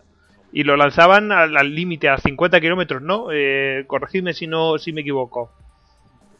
Así, pero había, había que dejarlo caer. Es uno de esos misiles que hay que soltarlos del avión y al cabo de unos segundos encienden y, y van a la, sí, o sea, la maniobra consistía en tú llegas eh, a, una, a un vuelo roza olas, o sea, vas rozando las olas con el avión. Cuando te pones alcance, levantas, levantas el avión, entonces es cuando todos los radares enemigos te detectan y te van a dar con todo lo que tengan. Y en ese preciso momento es el que necesita el misil para adquirir el blanco y es cuando lo suelta, lo adquiere, entonces el avión vuelve a bajar a nivel ola y se, y se va. Ese es el momento crítico. O sea, que, no puede permanecer mucho tiempo ahí, tiene que lanzarlo y largarse. Claro, hasta que adquiera el, misil, el, o sea, el misil tiene que adquirir con su propio radar donde va a dar al, objeto enemigo. Sí. Pues hasta que lo adquiere y avisa al avión es el momento más tenso. O sea, porque tú imagínate, tú vas hacia una formación que te están tirando de todo. Esto, además, hay que decir que esto lo hacían eh, después de varios repostajes y, y en vuelo. O sea, porque hay que decir que los, los argentinos no podían lanzar eso tenían que lanzarlo desde el continente, ¿no? Eh, los ataques. O sea, que tenían que repostar en vuelo, eh, algo que solamente se utilizaba en ocasiones, como diríamos, absolutamente excepcionales, y allí se, se generalizó. Los argentinos hicieron de lo excepcional mm, una rutina y utilizaron un tipo de combate que era hasta entonces, pues, mm. No diría novedoso, pero sí que era absolutamente, pues que no se lo esperaban los ingleses, ¿no? no, pero sí, sí, No, novedoso, absolutamente novedoso. Tenían que volar tres horas hasta la isla y luego tres horas de vuelta. Eh, ¿sí? continúa, continúa. No, no, no, eh, di, di, No, que iba a decir me, ahí me, estaba acordando ahora del humorista británico Ricky Gervais, que decía que la guerra de las Malvinas era su favorita porque era una guerra de, de rango, que era como sujetar a un enano por la cabeza y que no te podía lanzar ningún golpe. Y, en ese sentido el, tío pues tiene razón, pero los, los argentinos le demuestran que no. con esto de los, reporta, de los repostajes consiguen, consiguen aceptar, asestar varios y duros golpes a, la marina inglesa. y, De hecho, los, ingleses nunca lograron detectar dónde estaban los aviones Hércules de, repostaje. Y los buscaron por cielo, tierra y mar y tierra y no, nunca lograron encontrarlos. E incluso hay hay alguna, bueno, después cuando hablemos de la Fuerza Aérea contamos esto. estabais con los Exocet, ¿no? Sí. Hay que decir antes otra cosa de, mm, cómo tenían que actuar los pilotos argentinos, que es que al volar a tan baja cota no tenían radar, entonces no veían dónde estaba el objetivo. Ellos tenían más o menos un, dónde podría encontrarse el objetivo. Entonces tenían que volar con un cronómetro donde marcara eh, y una velocidad de crucero donde marcara cuánto tiempo que tenían que estar volando y en una dirección, brújula y cronómetro. O sea, fijaos que es que es una cosa como muy eh, eh, rudimentaria, pero que funcionaba. La navegación aérea pura y dura, o sea, como el principio de la aviación. Pero, eso es más, más bien la Fuerza Aérea. Es, sobre todo los A4, los, Skyhawk, porque los, los Skyhawk los compra Argentina a mitad de los años 60, pero los compra de un stock que ya había sido dado de baja en Estados Unidos y que estaban allí durmiendo en el desierto del Mojave. O sea, los compraron por tres duros. Le hicieron el overhaul y los pusieron en condiciones de vuelo, pero eran aviones que no tenían, salvo radio, no tenían ni siquiera altímetro. Sí, pues es... cuentan, los, A4 no tenían ni altímetro, ni, salvo el líder, no tenían ni altímetro ni elementos de navegación. Y, y entonces eh, encargaron a la, a la Universidad del Sur, a, lo- a expertos matemáticos, Sí. que, que les calcularan cuál era la altura a la que debe- a la que debían de ir y navegar para que los radares británicos no los, no los detectaran. Y entonces lo- los expertos dijeron que deberían volar a 8 metros sobre el nivel de la ola. Claro, 8 metros sobre el nivel de la ola en unos aviones que no tienen altímetro, pues un poco, un poco delicado. Y el Entonces- Atlántico Sur, que las olas cambian rápidamente. Entonces eh, diseñaron unas técnicas, además estaban muy entrenados porque ya los aviones ya los tenían y, y ellos habían, claro, con las limitaciones de los aviones, ellos ya habían manera de utilizarlo y acercarse a una flota moderna, pues tenía que ser de una manera determinada y entonces sí que estaban muy entrenados en, en cómo hacerlo. Entonces el líder iba delante, que era el que tenía los elementos de navegación correctos, y los demás lo que hacían era seguir la estela de espuma que dejaba el chorro a propulsión del avión sobre la ola. Y de esa manera iban todos en fila, eh, navegando a 8 metros de, de altura. Porque el, el principio que se mueve aquí es, si, si os imagináis una circunferencia, cogéis un punto en, en un sitio cualquiera de la circunferencia y sobre ese punto hacéis una tangente, Sí. todo lo que queda, queda por debajo de la tangente es punto ciego de radar, que es con lo que jugaban ellos, con la curvatura de la Tierra. Por eso tenían que ir a, a una altura de 8 metros, no más arriba, porque era el punto ciego del radar. Pues, eh, pues la verdad es que es súper interesante. Luego veremos que la actuación eh, de, de. ¿Cómo se llaman? Los, los Skyhawk. Skyhawk. Los Skyhawk, los Ah, sí, A4. que se lo- había, había de dos tipos del ejército del aire y luego estaban los A4Q, que eran de la Marina, que era Sí. el, el escuadrón que, que estaba eh, destinado en el portaaviones, pero que justamente en esa época lo habían llevado a tierra para ya para darlo de baja, porque estaban empezando a llegar los Etendard. Ujú. Entonces, claro, los pilló en plena transición. El escuadrón de los A4Q estaba basado en tierra y los Etendard, los Super Etendard, todavía no habían sido adaptados al portaaviones. Por, por eso que el portaaviones tiene tan poca actividad durante toda la guerra. Bueno, hay que decir en este punto, bueno, dos cosas. Una, que es lo de los, los perdedores, como dice Sun Tzu, los perdedores van a la guerra e intentan ganarla y los ganadores ganan la guerra y después, pues, pues van a la guerra. Eh, eh, eso es lo que pasa un poco con Pero- Argentina. Pero, es un poco como, como decía en la entrevista, eh, da muestra de que la guerra está improvisada completamente desde el punto de vista argentino. Porque Sí, si, si tus aviones están en, presa- en plena transición, estás renovando los aviones y, y sin haberlos renovado todavía empiezas una guerra, pues hasta qué punto es una, una cosa poco meditada, ¿no? Sí, No, eh, pero lo que estaba lo que estaba renovando era la escuadrilla naval del portaaviones. sí, pero que Los Sí, bueno. no, o sea, los, los A4 llevaban en servicio desde el año 65 y los pilotos estaban muy, pero que muy bien entrenados en lo que, en lo que, en, en sus posibilidades, porque para ellos la única manera que tenían, porque también tenían, hay que decir que también tenían Dagger, ¿vale? Tenían Mirage 3 de, de, de casa de intercesión, que también participaron. Pero el, el avión caza bombardero típico, el, el Dive Bomber, eh, que tenían los argentinos era el A4. Y entonces ellos sabían que con, con, el, mat- con el instrumental que llevaban los A4, que no tenían absolutamente nada, la única manera de hundir un barco era sobrevolándolo y tirándole la bomba. O sea, el más eh, eh, puro estilo Midway. sí. Entonces, eh, La bomba ellos de caída estaban- libre, claro. Claro, absolutamente. Tenían que sobrevolar los barcos para poder tirarles las bombas. Entonces, claro, ellos estaban muy entrenados en lo que era la aproximación a los barcos. Entonces, ellos volaban a 8 metros y una vez que ya los tenían a la vista, pues empezaban a hacer maniobras evasivas con muchos G negativos eh, para intentar eh, para intentar esquivar las ráfagas de los Phalanx y de toda la artillería antiaérea que les lanzaban. Y una vez que sobrevolaban el, barco es cuando tiraban las bombas con las espoletas retardadas, estas, la- eh, las bombas estas que no me acuerdo el nombre, que se le abre por detrás una especie de alerones que son los que las frenan. Sí, la los frenos Eh. aerodinámicos. Exactamente, que se ve mucho en el Vietnam. Sí, en la película El último vuelo del intruder.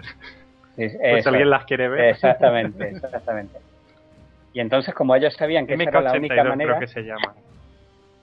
Eso. Pues como sabían que esa era la única manera, pues estaban muy entrenados en ese tipo de aproximación. Incluso también habían calculado que con la potencia de fuego que tienen los antiaéreos cercanos eh, modernos de aquel tiempo, sabían que el 50% de, la, de los aviones no, no sobrevivirían a, un ataque frontal de ese tipo. Y aún así eh, todos, todos, todos, todos los grupos llevaron a cabo sus misiones y la verdad es que eso sí que es para quitarse el sombrero.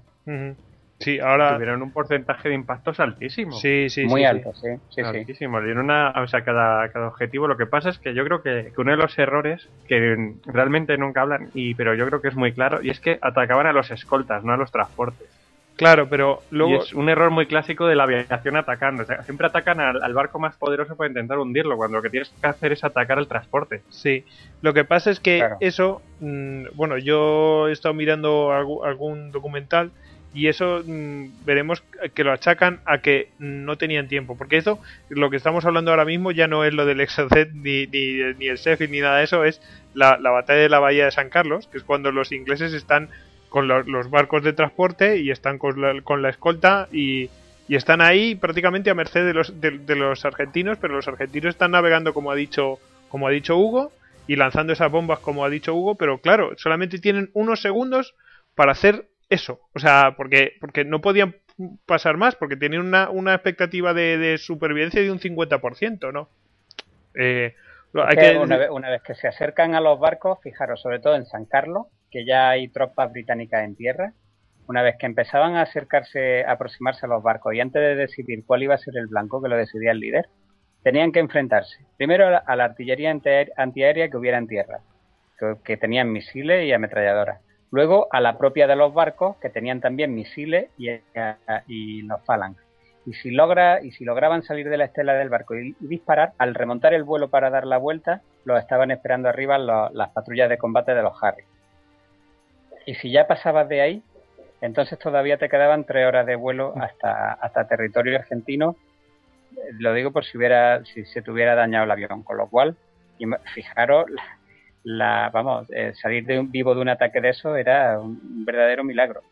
De hecho, los argentinos en el, en el documental este que vi, eh, lo que vienen a decir es que eh, que es que ellos llegaban, lo primero prácticamente lo que veían, o sea, que no, no, no, tenían tiempo para más, ¡pum! Lo, lanzaban y se iban. Y, tan, tan es así que, tenían que lanzarlo de esa manera, lanzar las bombas con la espoleta esta retardada, eh, que por cierto se la habían, la habían retardado previamente porque habían calculado que la explosión podía destruirles a ellos mismos, porque de, lo, de lo cerca que pasaban de los barcos, como tenían que soltar las, las bombas, les podía, les podía a ellos mismos afectar. Y, la mitad. bueno, sí, dime. Sí, no, digo que hay un caso de ataque.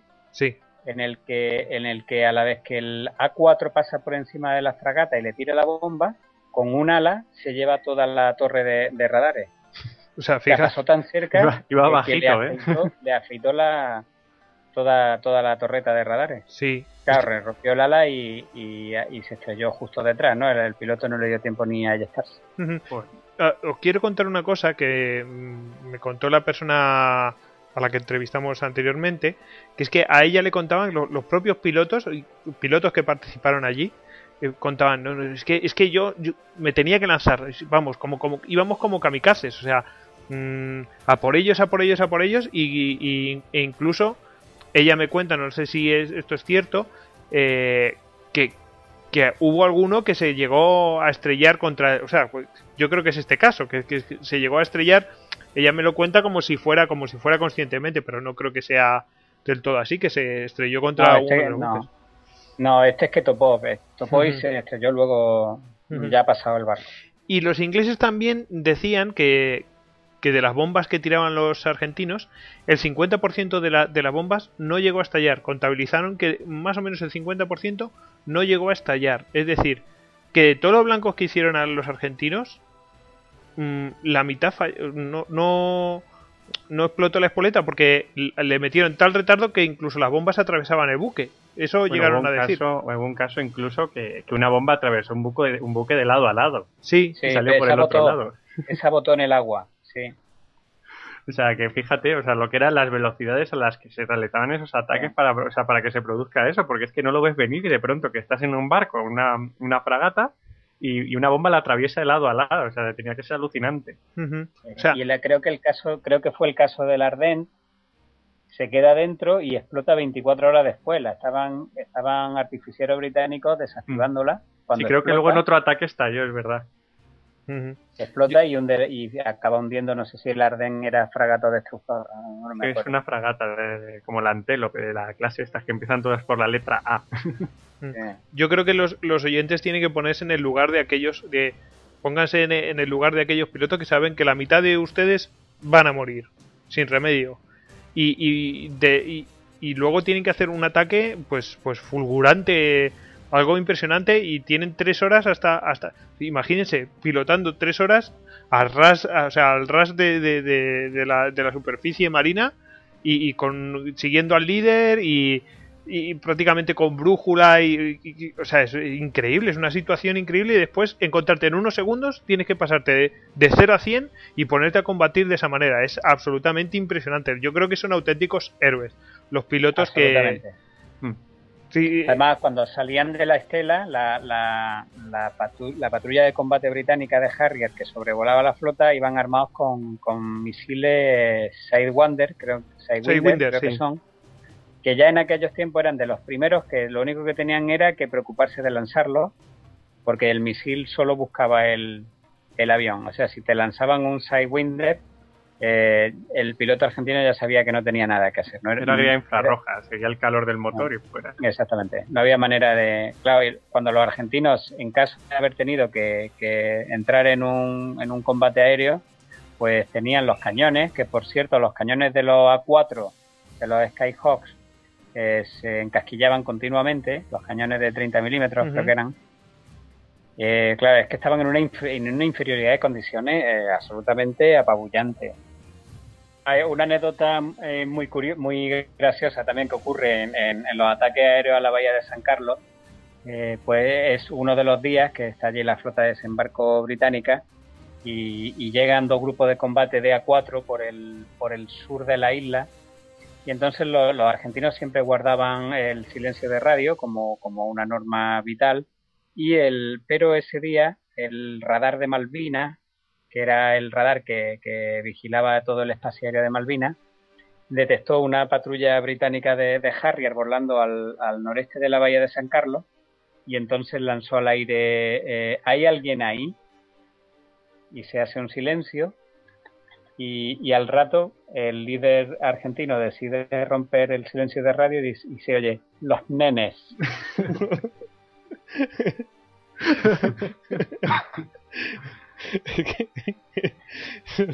Y luego ya, claro, ya procedieron al ataque. Creo que ese es justo el ataque donde hunden la, la, la, la barca de desembarco que transportaba a los galeses.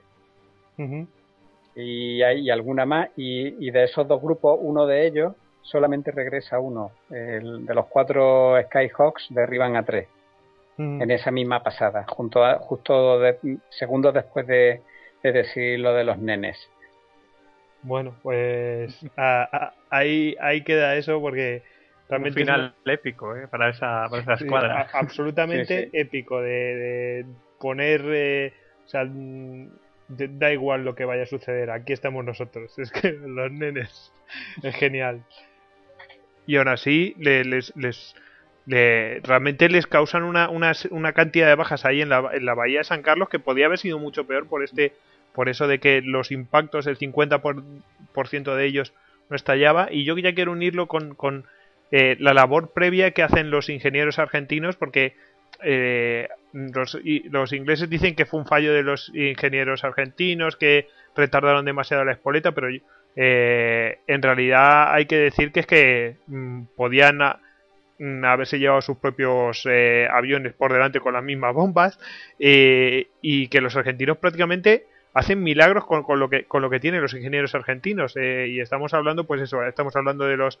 Skyhawk que los que los recuperan estamos hablando de los propios eh, eh, las propias bombas con, con espoleta retardada estamos hablando también de los propios exoced y ya volvemos al tema de los exoced porque los exoced eh, ellos tenían, habían comprado un montón de Exocet, incluso estaban, el precio de los Exocet eran eh, 500 mil dólares y estaban ofreciendo hasta un millón de dólares los argentinos, pero por presiones de los ingleses les cortaron el grifo y la remesa que habían comprado, pues solamente habían entregado cuatro y no les entregaron más, igual que los que con los Etendard.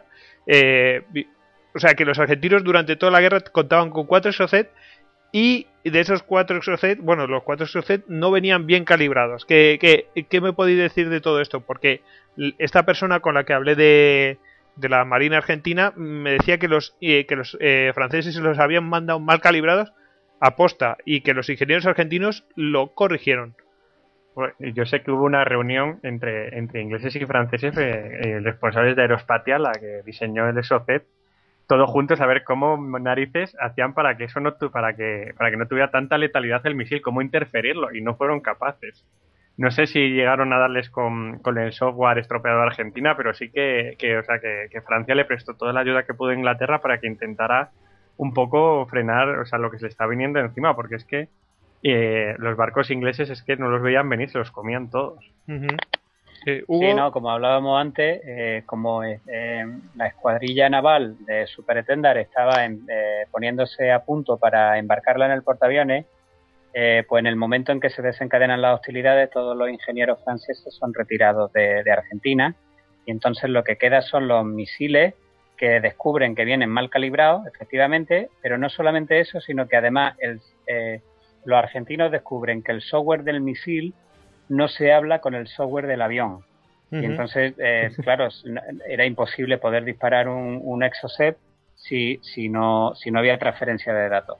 Y entonces cuenta un argentino, un, un ingeniero argentino, que, que, hubo momentos en que lo intentaron, pero a fuerza de probabilidades, es decir, probando números, números, números, números, hasta que lograron dar con, con, la, con las secuencias de, de comunicación entre, entre los dos distintos programas de software y, y, lograron alinearlo y por eso pudieron disparar.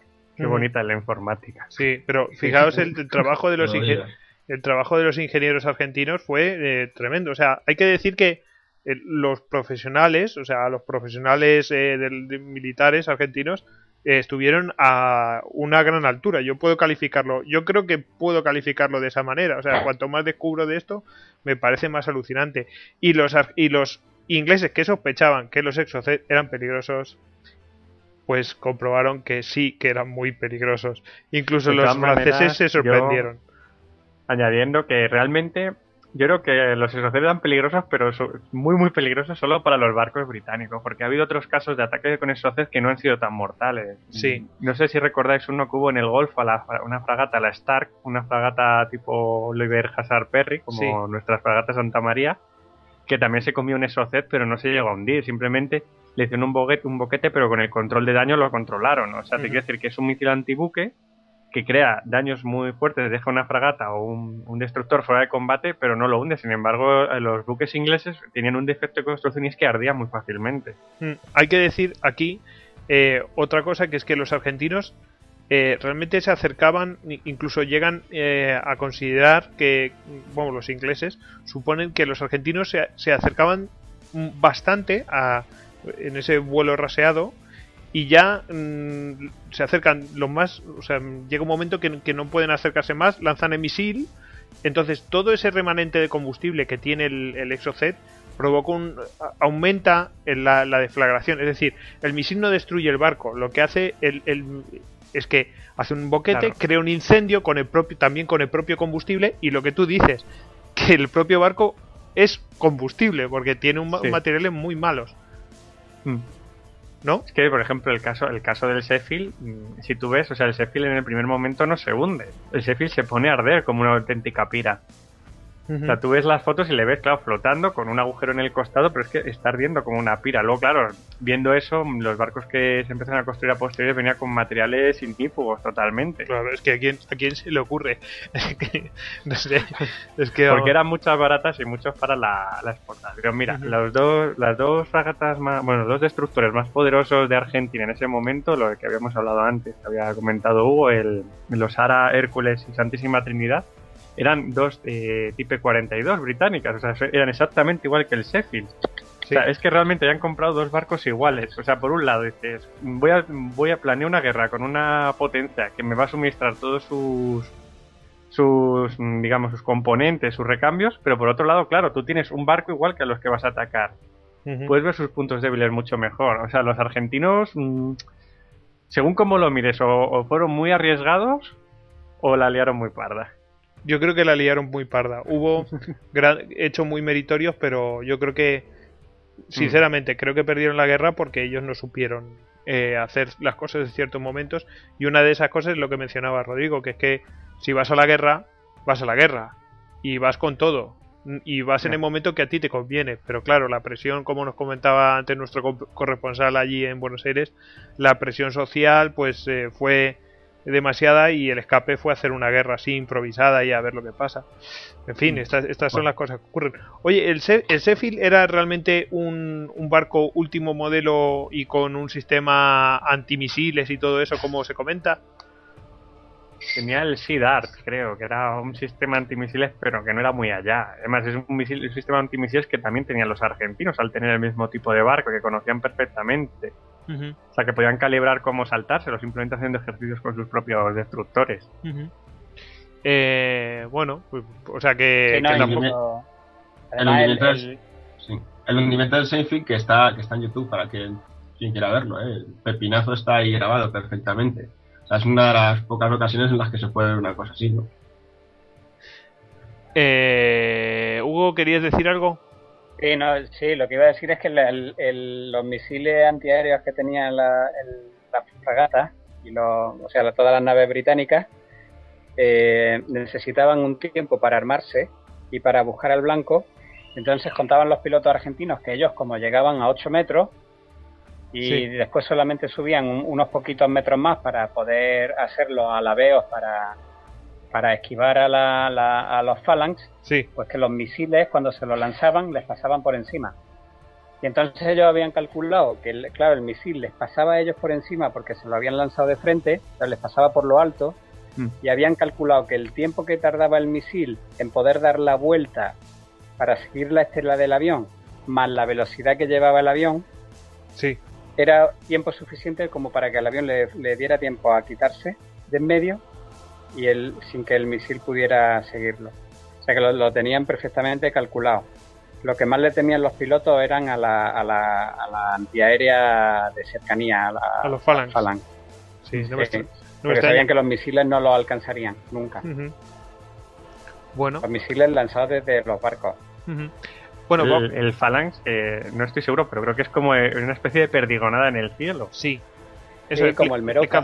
Sí, como el meo que se Claro. lanza como si fueran perdigones, claro, de, Es- de es- munición y, y a lo que dé. El principio que sigue este tipo de artillería antiaérea cercana es el de saturación. Mm. Lo que intentan no es dar, o sea, no se le tira al avión, sino No lo que se apunta, hace sino es que va al bulto. ahí. saturar, exactamente, satura espacios de cielo por donde tú crees probable que vaya a pasar el avión. El mejor ejemplo lo tenemos en. Yo recomiendo que la gente, aunque la película es una flipada y hay muchas cosas que son absolutamente inverosímiles, pero os recomiendo que veáis la película Battleship porque se ven los Phalanx, precisamente. Sí, Y ya, la he visto en la de Battleship. Me encanta Sí. cómo pueden mover un acorazado con 50 personas. Eso. y encima todos viejos. En fin, el, que, Exacto. el que haya estado en un acorazado de la Segunda Guerra Mundial se da cuenta que eso es todo absolutamente mecánico y eso no se puede mover así como así. En fin. Eh, bueno, ya que estamos hablando de los Exocet, vamos a hablar de, los, de las otras víctimas, porque hubo unas cuantas más. Eh, creo que me falta una, que fue el único superviviente, que es que los ingleses se dieron cuenta que, el, que si el Exocet daba pues pues en una de las en uno de los de un, eh, a babor o estribor en una de, una de las bandas realmente el buque estaba perdido prácticamente eh, pero enfrentando el propio eh, misil enfrentando de frente el misil pues se podía sobrevivir. Y hubo uno de los buques que, que sobrevivió a, a, a- a un impacto de Exocet. Eh, no me- ahora mismo no me acuerdo cómo, cómo se llamaba. No sé si vosotros tenéis el dato de ello. Yo al menos tengo uno. Sí. Que, que no sé si será ese porque el, el que yo tengo es otra de las grandes cosas que hicieron los argentinos, que fue eh, eh, disparar un exocet desde tierra. desde, la, desde una de las de la islas habían llevado una lanzadera que, pertenecía a otro tipo de misiles, lo habían acoplado a un radar que no era el suyo, es decir, un radar de, búsqueda que era el que le proporciona, el que hacía las veces del radar del avión, es decir, el que, el que enfocaba el blanco y le transmitía al misil toda la información que necesitaba para volar. Y bueno, pues después de varias pruebas logran eh, logran que hacer funcionar un radar de, de, una tipología con una lanzadera de misiles en tierra de otra y con un exocet dentro. Y entonces en la, noche del 11 al 12 de junio se le ponen tres barcos a tiro y uno de ellos, el Glamorgan, pues le, se pone a 24.000 metros y le tiran el exocet. El, el, barco se da cuenta, o sea, se percata de que viene el exocet y entonces se le pone de popa para precisamente lo que tú decías, para, para ofrecer el, el mínimo blanco posible. Aún así, el exocet le entra por la popa, le entra al, al hangar de helicóptero, destruye toda la popa, todo el hangar de helicóptero, y creo que hubo ocho muertos, pero no se declara un incendio, etcétera, pero no, no llegó a hundirlo. Sí, creo que es, ese, es ese caso, creo que era. Podría ser ese o podría ser otro. Sí, sí, es ese caso, es ese caso, porque tenían no tenían mucho más exocet. Eh, luego hay otros casos que, bueno, los propios ingleses admiten que ese es el único caso en el que ellos resisten de manera exitosa. Eso, la verdad, que hay que reconocer que los ingleses ahí estuvieron listos. Dijeron, ah, con esto no podemos, pues en caso de esto, pues hacemos esta maniobra. Y la, verdad es que les, les funciona bastante bien. Luego, ellos eh, también, en el, el caso es muy interesante, el caso del SS Atlantic Conveyor, que fundido por, por los Exocet, que es em, eh, eh, otra maniobra igual que la del Sheffield. Los ingleses ya toman nota muy rápidamente, se dan cuenta de cómo tienen que actuar y utilizan sistemas eh, como el EMP. Eso alguno sabe qué es el EMP. Entiendo que es una es como un pulso electromagnético, ¿es cierto o no?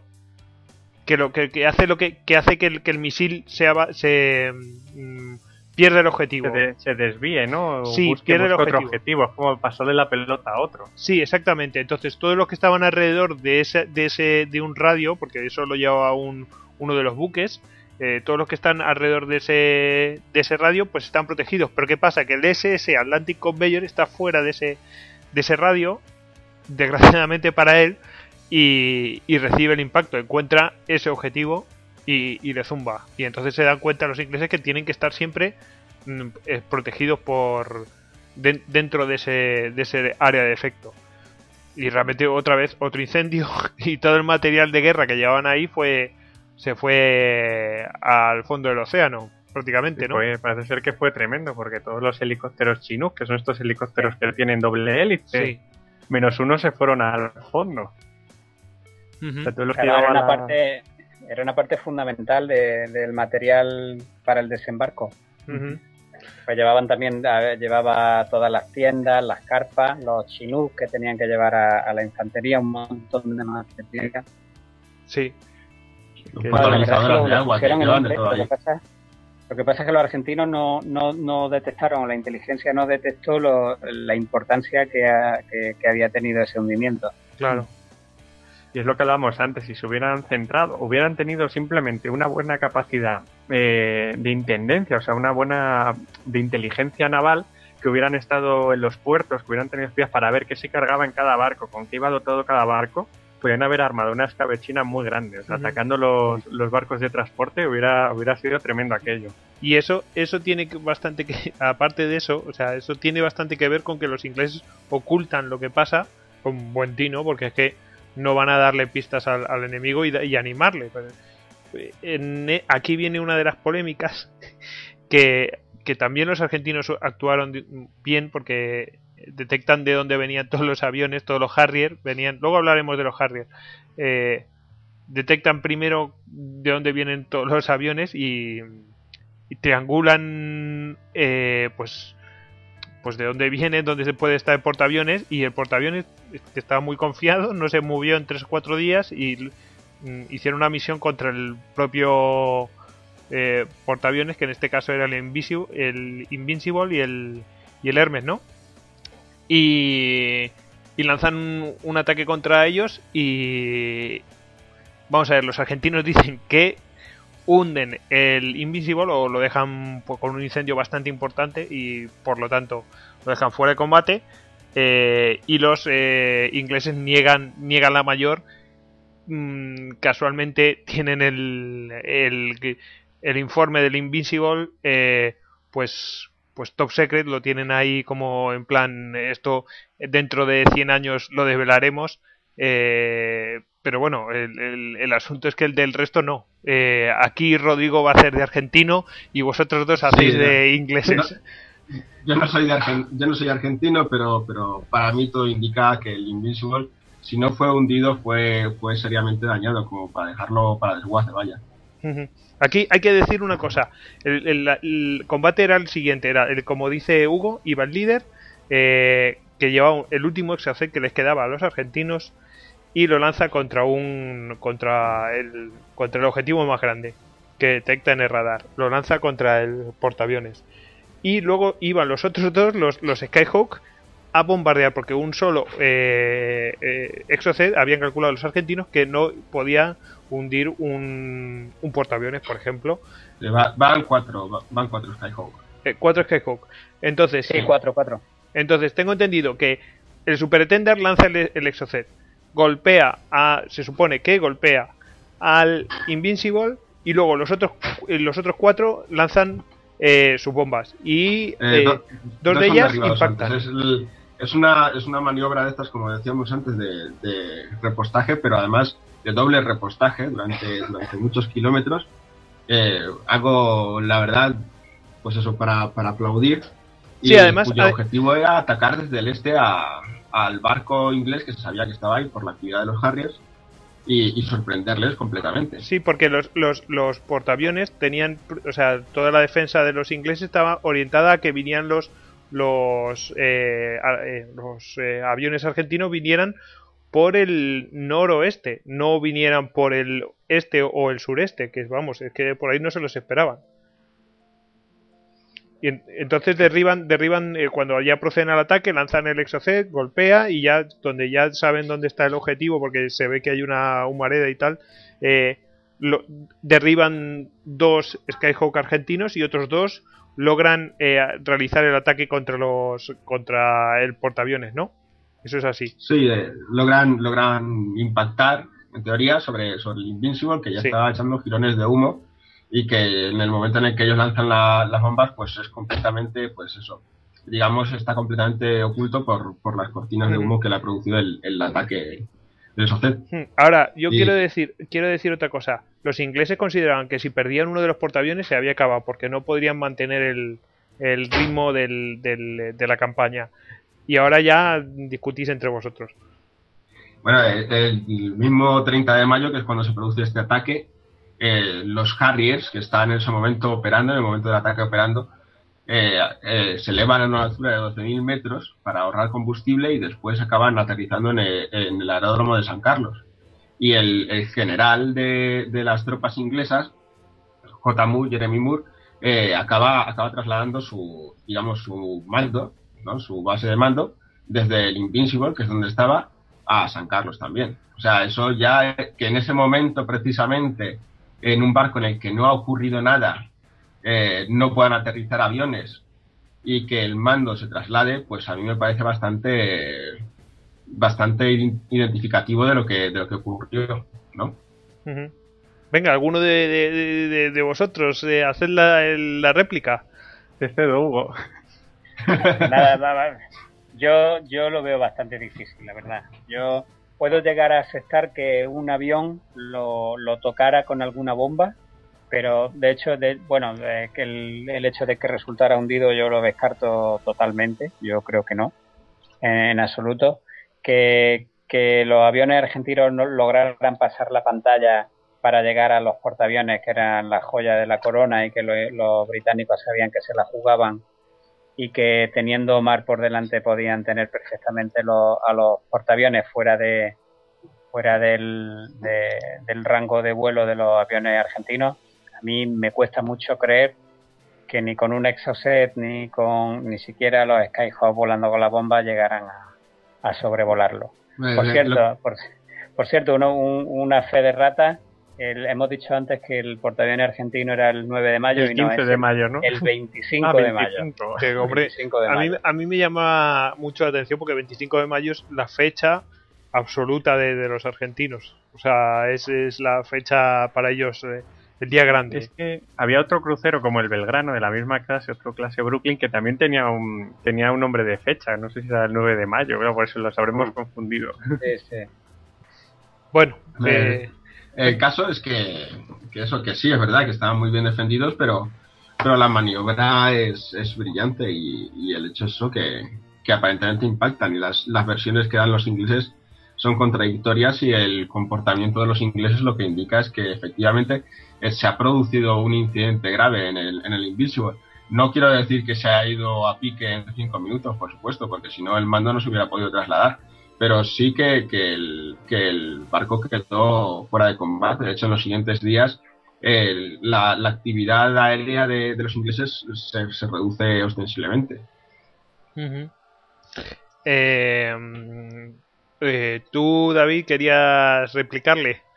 Sí, bueno, yo decir que realmente si se llega a producir el hecho de que la aviación argentina hubiera tocado el invencible, o sea, el escándalo publicitario hubiese tal calibre que se iba a enterar hasta en la China. O sea, tú ten en cuenta que esa batalla, o sea, y la guerra de las Malvinas en general, aparte de las dos potencias implicadas, o sea, había un montón de satélites americanos y un montón de satélites soviéticos siguiéndolas. O sea, tú imagínate a gente en el Kremlin y en el Pentágono con palomitas viendo lo que estaba pasando, tomando nota de todo lo que estaba ocurriendo, de cómo funcionaban las cosas. Entonces tú llegas y por alguna casualidad, un, un Skyhawk o un Super Etendard le mete un misilazo, un bombazo al, al Invencible y Sí. ves al Kremlin publicándolo en todos los periódicos.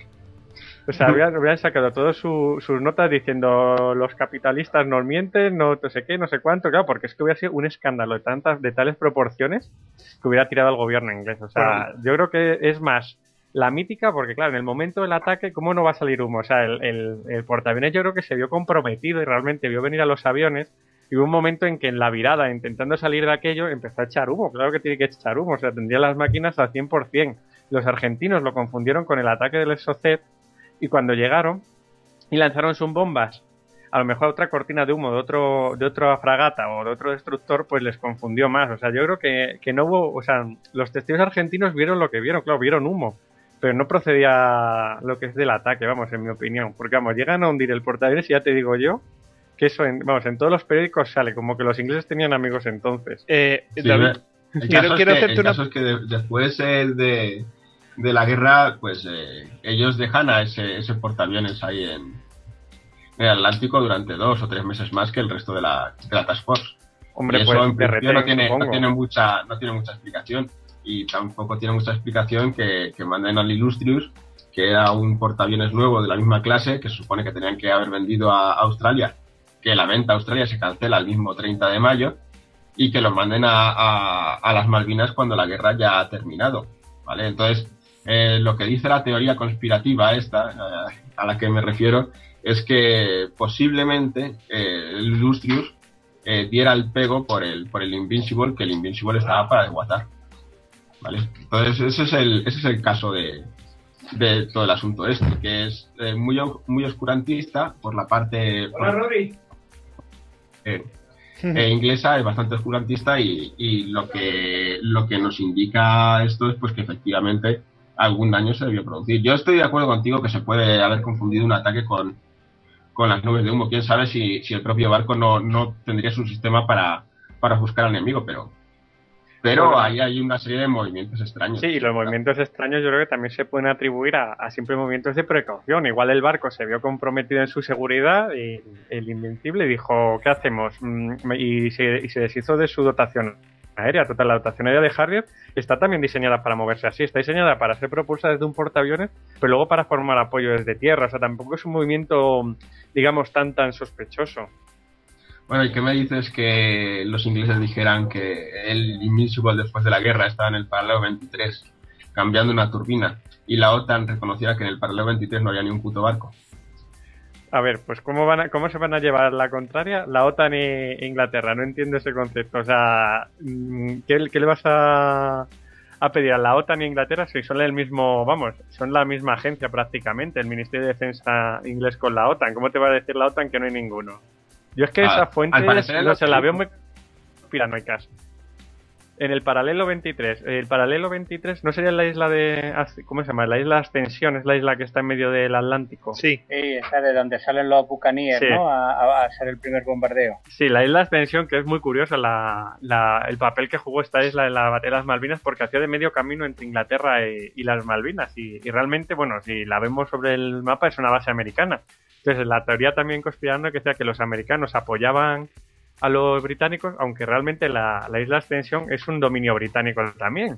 Y tienen como es como las islas de Diego García en el Índico y, y demás, que y luego tienen una cláusula cuando las alquilan, que es cuando las necesite para una, para una batalla, para una guerra, eh, y Inglaterra puede disponer de ellas cuando quiera. O sea, que realmente yo creo que simplemente el, el- el Invencible hizo parada ahí, pero parada porque el Invencible también lleva un hospital enorme. O era prácticamente el hospital de guerra británico. O sea, tenía la- las mejores instalaciones, el portaaviones más nuevo y tenía que, dejar heridos. O sea, yo puedo achacarlo a eso también. Otra cosa que, se alega para defender el hundimiento del Invincible es que cuando sale del puerto eh, no tiene phalanx y cuando vuelve no solamente está mucho más, eh, digamos, limpio que el Hermes, sino que encima tiene, tiene, tiene esa defensa antiaérea, con lo cual se podría tratar de otro, bu- de otro buque. Lo que, lo que se defiende aquí es que, que podría haberse dado el cambiazo por el Illustrious, que era mucho más nuevo y que sí disponía de esa defensa antiaérea. Las fotos están ahí, por supuesto, y, y muestran claramente lo que te comento.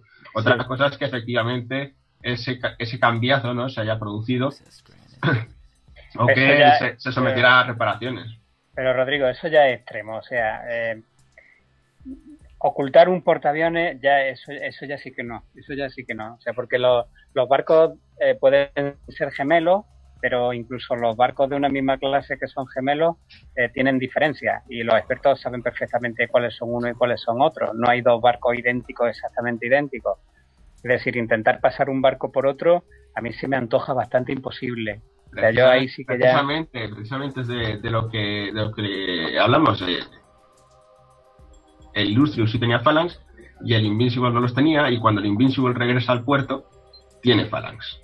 ¿Cómo Claro, puede ser? ¿Qué ha, pasado, profeso. qué- qué ha pasado, pero- qué ha pasado en esos tres meses No, en alta Rodrigo. mar? ¿Qué pasó? eh, que pasó ese barco? Más allá de, de lo que pasó la, la Task Force, más tres meses extra en alta mar para que volviese con Phalanx, para que volviese limpito y, y nuevo. Y, y si, y si realmente quise intercambiarle, ¿no sería más fácil coger una foto de antes de la guerra y dejarlo igual? O sea, ¿sabes lo que te quiero decir? Que los Falan pueden ser perfectamente un añadido que les han hecho justo después de, la, de las batallas, o sea, o, o, en, o exprofeso. O sea, un portaaviones sí que tiene una capacidad mucho mayor que que un escolta para autodotarse de armamentos. Es una plataforma muy grande y podían instalárselo en ese momento. Bueno, tampoco soy un gran experto en lo que es una instalación de ingeniería armamentística, pero no creo yo que, que fuera tan, tan arriesgado eso. Ujú. Bueno, ahí, ahí queda para cada uno la conspiranoia. Mi- mis fuentes son, son fiables, son las mismas que dicen que hay nazis en la luna. bueno, va- vamos No a. es tontería, pero con esta, con esta, con esta polémica, o sea, si, si cualquier aficionado se mete en internet, eh, en todos los foros armamentísticos está, o sea, es Sí, una sí. cosa, es un clásico. Bueno, vamos a. vamos- mí, a, mí, a mí me parece un error, además por parte de, de los argentinos, centrarse tanto en una cosa como esta, que, que a todas luces se ve que no ocurrió, oscureciendo un poco lo que de verdad, lo que de verdad deberían de, de estar hablando y sentirse orgullosos, que es de los ataques que hicieron los, los aviadores argentinos sobre la flota inglesa, que es que de verdad que son para quitarse el sombrero. Sí, pero en vez de que- hablar de eso, hablan de una supuesta eh, o de un supuesto hundimiento de un portaaviones, no sé, me parece un error. Bueno, bueno, dentro de yo creo que 70 lo- años nos veremos las caras, Hugo, y, y me tendrás que pagar una comida. Yo lo que creo que buscan es un poco hacer la mitología en plan de que los argentinos, claro, como realmente no ganaron la guerra, eh, buscan como en plan de que, de que ellos cambiaron lo que fue la guerra naval, porque realmente hicieron una innovación con el SOCES, pero claro, quieren sustituir lo que es la figura del portaaviones como Capitol Ship a la figura de la, de la fuerza aeronaval, aunque sea basada en tierra, como, como un método, vamos, innovador totalmente. Yo creo que es donde Pero- se equivocan. Sí, sí, pero que no hace falta hablar del portaaviones, si es que Sí. eso mismo lo hicieron y además de verdad y está absolutamente demostrado con, con los demás con las demás unidades de la flota que hundieron, que cada barquito de tipo 42 valía 500 millones de, de dólares Sí, sí, o sea, el estropicio fue total. y los, los Skyhawk fueron comprados en el desierto de Mojave a 50 mil dólares la unidad. Nada. Podríamos, podemos poner entre todos un poco a ver si nos compramos algo. No. Y después nos, nos dábamos un paseo por ahí. Skyhawk. Bueno, a ver, que vamos, que vamos bastante más de tiempo. Eh, vamos a ver, eh, vamos a hablar de los Harrier. Eh, los Harrier aquí demostraron que, pues, bastante utilidad, porque además de ser un avión de reacción que, que ellos, mm, pues, absolutamente superior a prácticamente lo que tenían los argentinos, eh, te- tenemos aquí una preguntilla de David L. Gimón, que nos ha hecho por Facebook. Eh, nos dice que escondían los Harriers en barcos civiles los ingleses. Bueno, yo, yo podría contestarle que realmente no es que los escondieran, o sea, es que eh, la, la Royal Navy tiene una política que a mí me parece muy acertada y es que eh, subvenciona varios proyectos de barcos civiles con cierta cantidad de dinero con la condición de que en caso de guerra pueda hacerse con ellos, los pueda, los pueda convertir en, en barcos militares. O sea, eso se, se llama la, la Royal Auxiliar Fleet, o sea, la, la flota auxiliar eh, real. O sea, esa flota pues eh, realmente tiraron mucho de ella en las Malvinas, o sea, muchos petroleros y muchos barcos de transporte. Entonces, la- dada la cantidad de, de Harrier, que es un avión que hay que decir lo que es de despegue y aterrizaje vertical, eh, disponiendo solo de dos portaaviones para tener mayor capacidad de, de lanzar Harrier a un tiempo, utilizaron algunos de estos, de estos barcos de, la- de estos barcos de la, de la flota auxiliar como, como digamos como portaaviones improvisados, como vectores de lanzamiento para, para helicópteros y para Ujú. Harrier. De ahí las típicas imágenes de las Malvinas, como decía anteriormente Hugo, con, con el Atlantic Conveyor ahí blindado por, por los contenedores, donde se ven los Harrier aterrizando y despegando. Claro, porque es que esa, esa ventaja táctica era brutal. O sea, que un avión despegue verticalmente, eso es, es tremendo. Prácticamente cualquier barco le sirve para eso. Es tremendo. Em, bueno, eh, ¿algo más que añadir sobre los Harrier? Pues yo creo que el Harrier en sí mismo también se merecería un monográfico, porque es un concepto de avión que, que a mí no me termina de gustar, pero le veo su eficacia. Ujú. O sea, es un avión que realmente yo creo que los británicos apostaron por él porque la- los, por, simplemente porque por los presupuestos estaban quedando sin portaaviones convencionales. O sea, toda su, está pasándole como el caso que le ha pasado a Argentina. Toda su, su aviación naval estaba, basa- estaba basándose en tierra, los Phantom, los Bucaner. Entonces apostaron por un avión embarcado y claro, al ver que los portaaviones tan reducidos que podían, que podían acarrear con los, con los presupuestos, pues apostaron por ese tipo de, de avión vertical. ¿Qué pasa? Que las Malvinas ese avión se vio bastante... O sea, que tenía que era bastante eficaz para lo que estaba pensado, o sea, para, para lo que era el, el dogfight, o sea, la- las batallas avión-avión contra los Mirage argentinos y para las patrullas de combate y- e intentar alejar los, a los atacantes argentinos. Ujú. Es Le- un concepto de avión curioso. Mm, Pues sí. Yo creo que fue le fue bastante útil a los eh, a, la- a los ingleses, perdón, en, en, en, a- en aquella guerra. Eh, yo cre- creo que podemos ya pasar a la parte de la guerra terrestre. La guerra terrestre. Bueno, si te parece, Gregorio, eh, Sí. me gustaría contar antes ya para cerrar el capítulo Sí. aéreo argentino, sí. eh, destacar la, la- la actuación que tuvieron los, los, los Hércules de, de repostaje en Ah, aire, sí. Perfecto. que como decíamos antes, los, los ingleses los buscaron por cielo, tierra y mar y no, no hubo manera de encontrarlo. Y hubo un par de casos, uno especialmente, en el que tras haber hecho la pasada los, los A4 sobre la flota británica, se habían retirado tocados. Y, eh, y entonces, eh, sobre todo hay, un- hay un caso que, que es sangrante, porque llevaba, llevaba eh, atravesada el ala y entonces estaba perdiendo el piloto una cantidad de combustible impresionante. Y eh, entonces eh, solicita al, al- líder eh, eh, instrucciones y que si seguía para buscar a, al Hércules de, de re- de repostaje en vuelo, que estaba muy lejos, o si se volvía a la isla y se, y se ya estaba. Y entonces cuenta, cuenta el líder, porque esta anécdota la cuenta el líder, ya después de muchos años, que dice, yo no puedo decidir por ti, y, le dice, encomendate a Dios, dice, al, al otro piloto, encomendate a Dios y, y decide lo que tú quieras, porque yo no te puedo ayudar eh, en esa decisión tan, tan trágica. Y entonces el, el Hércules, que está oyéndolo todo, decide ir en busca del avión, aun a riesgo de ponerse, porque se acerca tanto a la isla que se pone a tiro de, de, la, de las patrullas de combate británicas de Harrier, Sí. Y eh, intenta la maniobra, acopla al avión y lo lleva a tierra firme acoplado, porque la, la, la pérdida de combustible del ala era tan grande que ni aunque lo reabasteciera sería capaz de, de llegar. Y entonces fueron acoplados, volando las tres horas hasta que llegaron a la costa O sea, argentina. acoplado por la man- acoplado por la manguera. acoplado por la manguera. Qué fuerte. Es o sea, Pero decir, sí, sí te- tenían Eh, bastantes españoles, hemos dicho, ¿no? Sí, sí, o sea, eh, suministrándole combustible y sabiendo que el 50 o el 60% del combustible que le suministraba por segundo se salía por el ala. joder. Madre mía. qué- qué- ¿Me, permite- ¿Me permites hacer una última fe de ratas?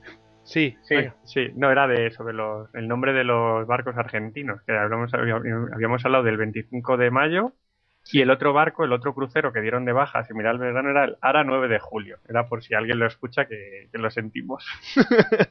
que nos Es que con, perdone. con tantas fechas. Ya, ya, Sí. es que se ponerle fechas a los barcos. Sí. A, a nosotros nos gustan más santos. En fin. Sí. Que eh, luego eh, yo quería mencionar, aunque es casi anecdótico, el tema de los Pucara, que son, son unos, unos aviones de construcción argentina que, pues prácticamente de los 60, que son de turbohélice. O sea, hay que ver que el diseño es casi, casi, pues, pues eso, pues de un reactor, pero luego tiene dos motores de turbohélice. Muy, la verdad es que son bastante graciosos los aviones y, hombre, no pueden enfrentar un, re- un, re- un reactor de ninguna manera, pero sí que lo- los, los ingleses lo, lo consideraron una amenaza, especialmente para sus operaciones en tierra. De hecho, eh, los Pucara se emplearon, se emplearon bien para contra los helicópteros ingleses y creo que derribaron un par de ellos. Y los la- las AS, la- la- las fuerzas especiales de, de la, creo que es de la infantería marina, ¿no? De los, Special Air Service. Sí. Eh, pues la SAS eh, cogió y hizo una operación especial en la ahí al lado de la bahía de San Carlos eh, y acabó con en un aeródromo que había acabó con prácticamente todos los Pucara que tenían creo que eran pues una docena una cosa así prácticamente acabaron acabaron con todos ellos los sacaron fuera de combate y porque los consideraron una amenaza pero es, es curioso que los argentinos funcionaban con con lo de aquí para allá, no sé qué, lo parcheaban, eh, cosas de propia construcción, pero mm, sacaron un rendimiento tremendo y los ingleses ya no los, se los tomaban para nada de broma. Incluso creo que un inglés escribió un libro, un, un combatiente inglés escri- escribió un libro que se llama No Picnic. Esto no fue, un- o sea, no, esto no fue un paseo, vamos. Sea, una cosa Bueno, ahí, ahí- ahí podríamos abrir otra polémica que es por qué no ampliaron la pista los argentinos en Puerto Argentino. Yo creo Porque que de haber ampliado tiempo. la pista y, sí, y, y haber metido allí a los A4 y a los Dagger, sea, entonces sí que hubieran hecho mucha pupita, ¿eh? Yo Sí, creo que, yo ahí- creo que no les dio tiempo, que fue tan rápida la Task Force y bloqueó tan rápido la- las Malvinas, o sea, porque ten en cuenta que en menos de un mes ya estaban ahí. Mm, O sea, yo- en Ay, 12, pero, 13 ta- días. pero, pero fijaros también que los norteamericanos en la Segunda Guerra Mundial con las planchas esas de acero Mm. hacían una pista de la noche a la mañana. Pero Sí, yo- pero claro, es que es que ahí está el tema. ¿Cómo mueves tu barco ya cuando es... Yo creo que estaban en las negociaciones. O sea, yo creo que no hubo una voluntad clara de, de ponerse a la defensiva tan rápidamente. Sí. Llevaron tropas de ocupación y las dejaron ahí. es eso, es, es lo que os decía antes, es, eh, es todo como improvisado, a ver si negociamos, si no negociamos, como, como fue un ataque así, o sea, una invasión eh, improvisada, mm, no, no tenían eso previsto, porque si tú te planteas una guerra en serio, te planteas todo esto. Evidentemente, además, lo primero que se haría es, ok, esta, esta pista no sirve para reactores, vamos a ampliarla y vamos a hacer una operación logística de la leche y lo vamos a hacer, pero así, al día siguiente va a estar preparado. Y, y realmente no se planteó de esa manera, fue todo como improvisado, es, es eso, es eh, así como van a salir las cosas. Luego yo, yo creo que los argentinos sí tuvieron ocasiones de ganar la guerra, pero, pero claro, no actuando de esta manera, ¿sabes? Es así. Luego, eh, Si queréis pasamos a la parte terrestre. Eh, en este caso los, los argentinos habían hablado de pues de pues eh, de que desde que se conoce que va a haber una invasión porque ya lo tenían porque ya se sabía que iba a haber una invasión en ese año y tal y cual y digamos que por la presión social al final los, los mandos bueno los mandos la junta militar decide que, que lo van a hacer así pues en esas fechas em, pero los, los, los mandos eh, de la infantería marina ya llevaban entrenando un mes o sea que sabían lo que se hacían eh, se estaban aclimatando qué tipo de combate iban a tener combate nocturno eh, y por el día descansar bueno ese, ese tipo de cosas. Em, pero vamos a ver, eh, aquí ya mm, podemos decir un poco cómo fue el, te- el tema de, de la guerra terrestre. Antes lo mencionó David. Fue mm, prácticamente desembarcar, tomar los altos y ya desde de, de tomar los altos ya se lanzan hacia Puerto Argentino. ¿No es así? Pues realmente lo que, lo que los, o sea, los argentinos dispusieron es una defensa alrededor de la capital de Puerto Argentino por Stanley eh, a base de, de altos y aguantar todo lo que pudieran, claro, ganando tiempo para unas futuras negociaciones o, o lo que llegaran. Entonces la, la, la batalla, bueno, las dos principales batallas que hubo fue una en Goose Green, llamada creo que, que es como la pradera del ganso en castellano, un nombre muy curioso, y, en, que está cerca de la población de Darwin, que es como un istmo que hay en la, en la propia isla, claro, que había que tomar para, para realmente aislar ese, ese trozo de isla donde se encontraba la, la capital. Fue una de las primeras batallas donde, donde realmente mm, el poder británico ya empezó a hacerse notar. Digamos que las tropas británicas ya eran la, típica tropa de, que, que existía en las Fuerzas Armadas de la OTAN, o sea, mm, que estaba totalmente coordinada con la artillería a su disposición, el apoyo aéreo, helicópteros, evacuaciones sanitarias, con, con una tropa argentina que era conscripta, o sea, eran pues la generación que les tocaba ir a luchar y que se encontraba allí en aquel momento. Y, de- y después de esta batalla que, que los británicos hicieron retroceder a los argentinos, llegó la, segunda gran batalla que fueron los saltos de Temple Down, donde realmente, eh, aunque hubo un gran asalto, eh, no se llegó a concretar la batalla porque antes se, se firmó la paz. Es prácticamente así un resumen muy, muy, muy centrado de lo que fue la, la campaña terrestre. Hay que decir que los que los eh, soldados, o sea, los argentinos llevaban conscriptos, eh, que infantería en marina también había, pero la mayoría eran, pues eso, pues reclutas, o sea, reclutas, vamos, que estaban Mm. allí no porque ellos quisieran, está claro. Y batallones de gendarmería, de vamos, lo que es la policía argentina. Sí, o sea, fíjate que, muy que- mal equipado. la- claro, aquí hay que decir que el ejército profesional argentino está en otro sitio, ¿verdad, Hugo? Sí, estaba de- desplegado eh, a lo largo de los Andes porque existía la posibilidad de que eh, Chile atacara a Argentina por la espalda, porque Chile, ha- hay que recordar que, que, que era Pinochet, era un gran aliado de Margaret Thatcher y de hecho ya se había llegado a, se había llevado a cabo alguna operación de comando británica en la Tierra de Fuego, donde se, donde se estrella un Siquín que venía proveniente de territorio chileno. Entonces Argentina, pues para prever posibles contingencias, tiene que desplegar a, a sus fuerzas de élite o a sus fuerzas de, que- de determinada calidad eh, en los Andes. Entonces, Ujú. claro, en, en- en las Malvinas lo que queda es un pequeño contingente de infantería de marina y lo demás pues re- reclutas. Ujú. Eh, bueno, además los argentinos habían tenido sus más y sus menos en 1900, creo que era el 76 o el 78, habían tenido sus más y sus menos. 78, en el, El 78. en el Beagle, en el paso del Beagle, en, Sí, al en sur en el de, en el canal de Beagle, sí. de Argentina, en, Sí. en Argentina y Chile, sí, el canal de Beagle. habían tenido su- sus más y sus menos por ahí un par de poblaciones y tal, bueno, en fin, eh, y habían estado a punto de llegar a, la- a- a las manos, ¿no? Entonces, pues no se fiaban nada de ellos. Yo creo que eso provocó que no mandaran, no, pusieran toda la carne en el asador en las, Malvinas y eso explica muchas cosas.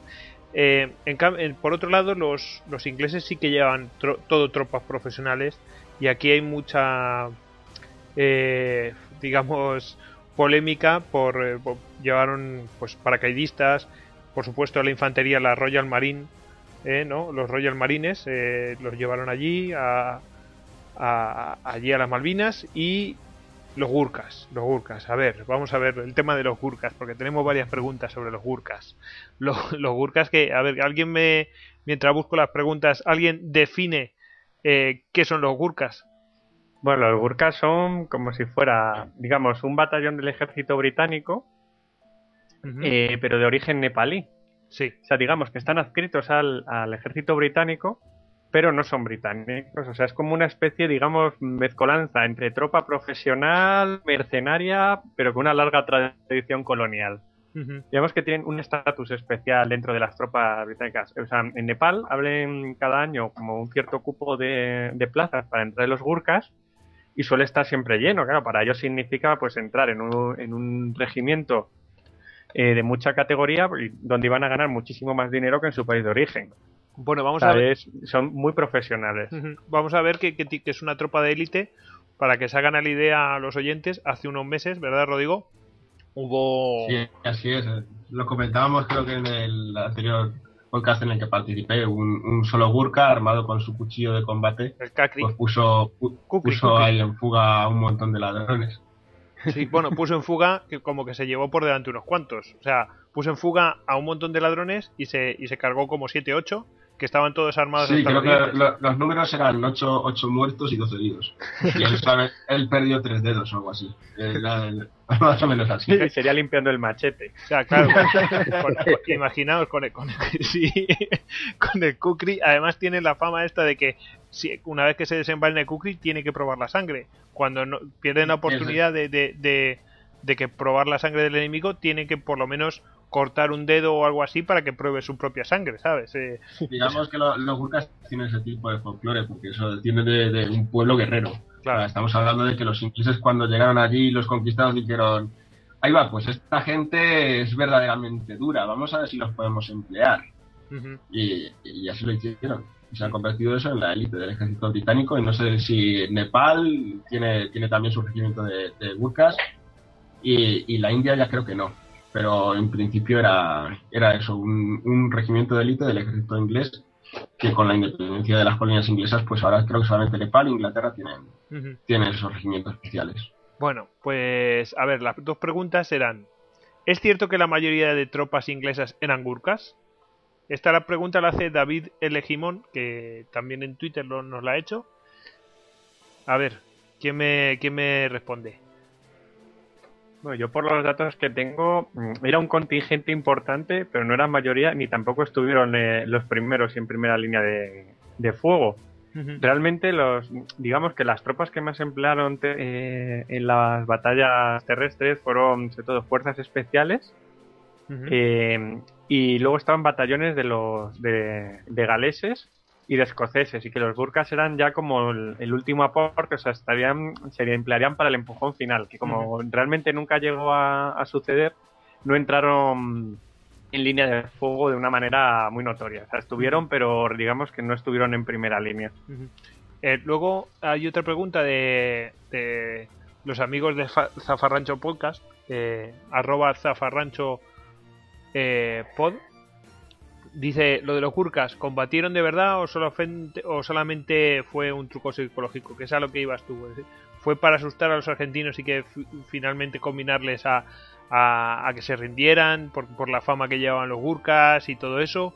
¿O, realmente fue algo Mm, pues eso, pues, pues que. Hombre, era un batallón que tenía un halo especial, pero yo supongo que, visto lo visto, si los argentinos se tuvieran que enfrentar a ellos, pues se iban a enfrentar. Hombre, tampoco creo yo que en 1982 el ejército británico dejara que los Gurkhas destriparan a los argentinos, porque no, o sea, cuando llegara a la televisión y viera aquello, iba a decir, ¿qué es esto?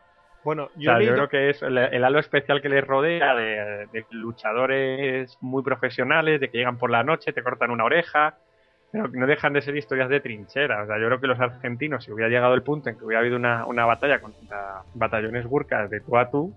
No hubiera, o sea, no hubiera habido más allá, o sea, más más conflictos. O sea, yo creo que hubieran ganado los Gurkhas simplemente por profesionalidad, por empuje, por el tipo de armamento que tenían, que era mucho más sofisticado, y la forma de luchar que tenían mucha más camaradería, mucho más... o sea, digamos que son regimientos que se forman y desde un principio están actuando juntos.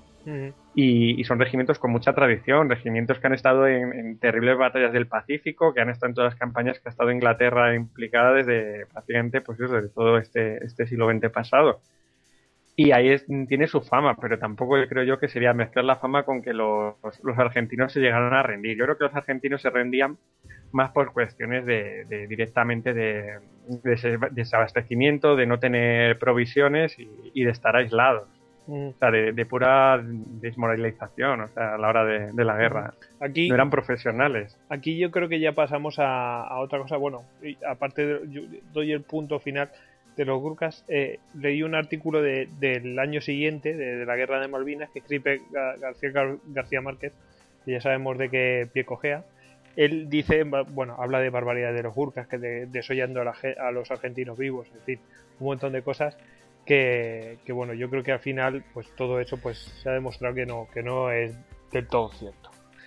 Eh, eh, hubo un momento en, estas batallas que anteriormente mencionábamos, eh, las batallas terrestres, en los que los argentinos tuvieron la oportunidad de hacer un contraataque y uno de los, mandos ordenaron que no se realizara el contraataque porque no podían respalda- respaldarlo logísticamente. Lo que tú decías ahora mismo, David, que no, que no había manera de respaldar una situación como esa.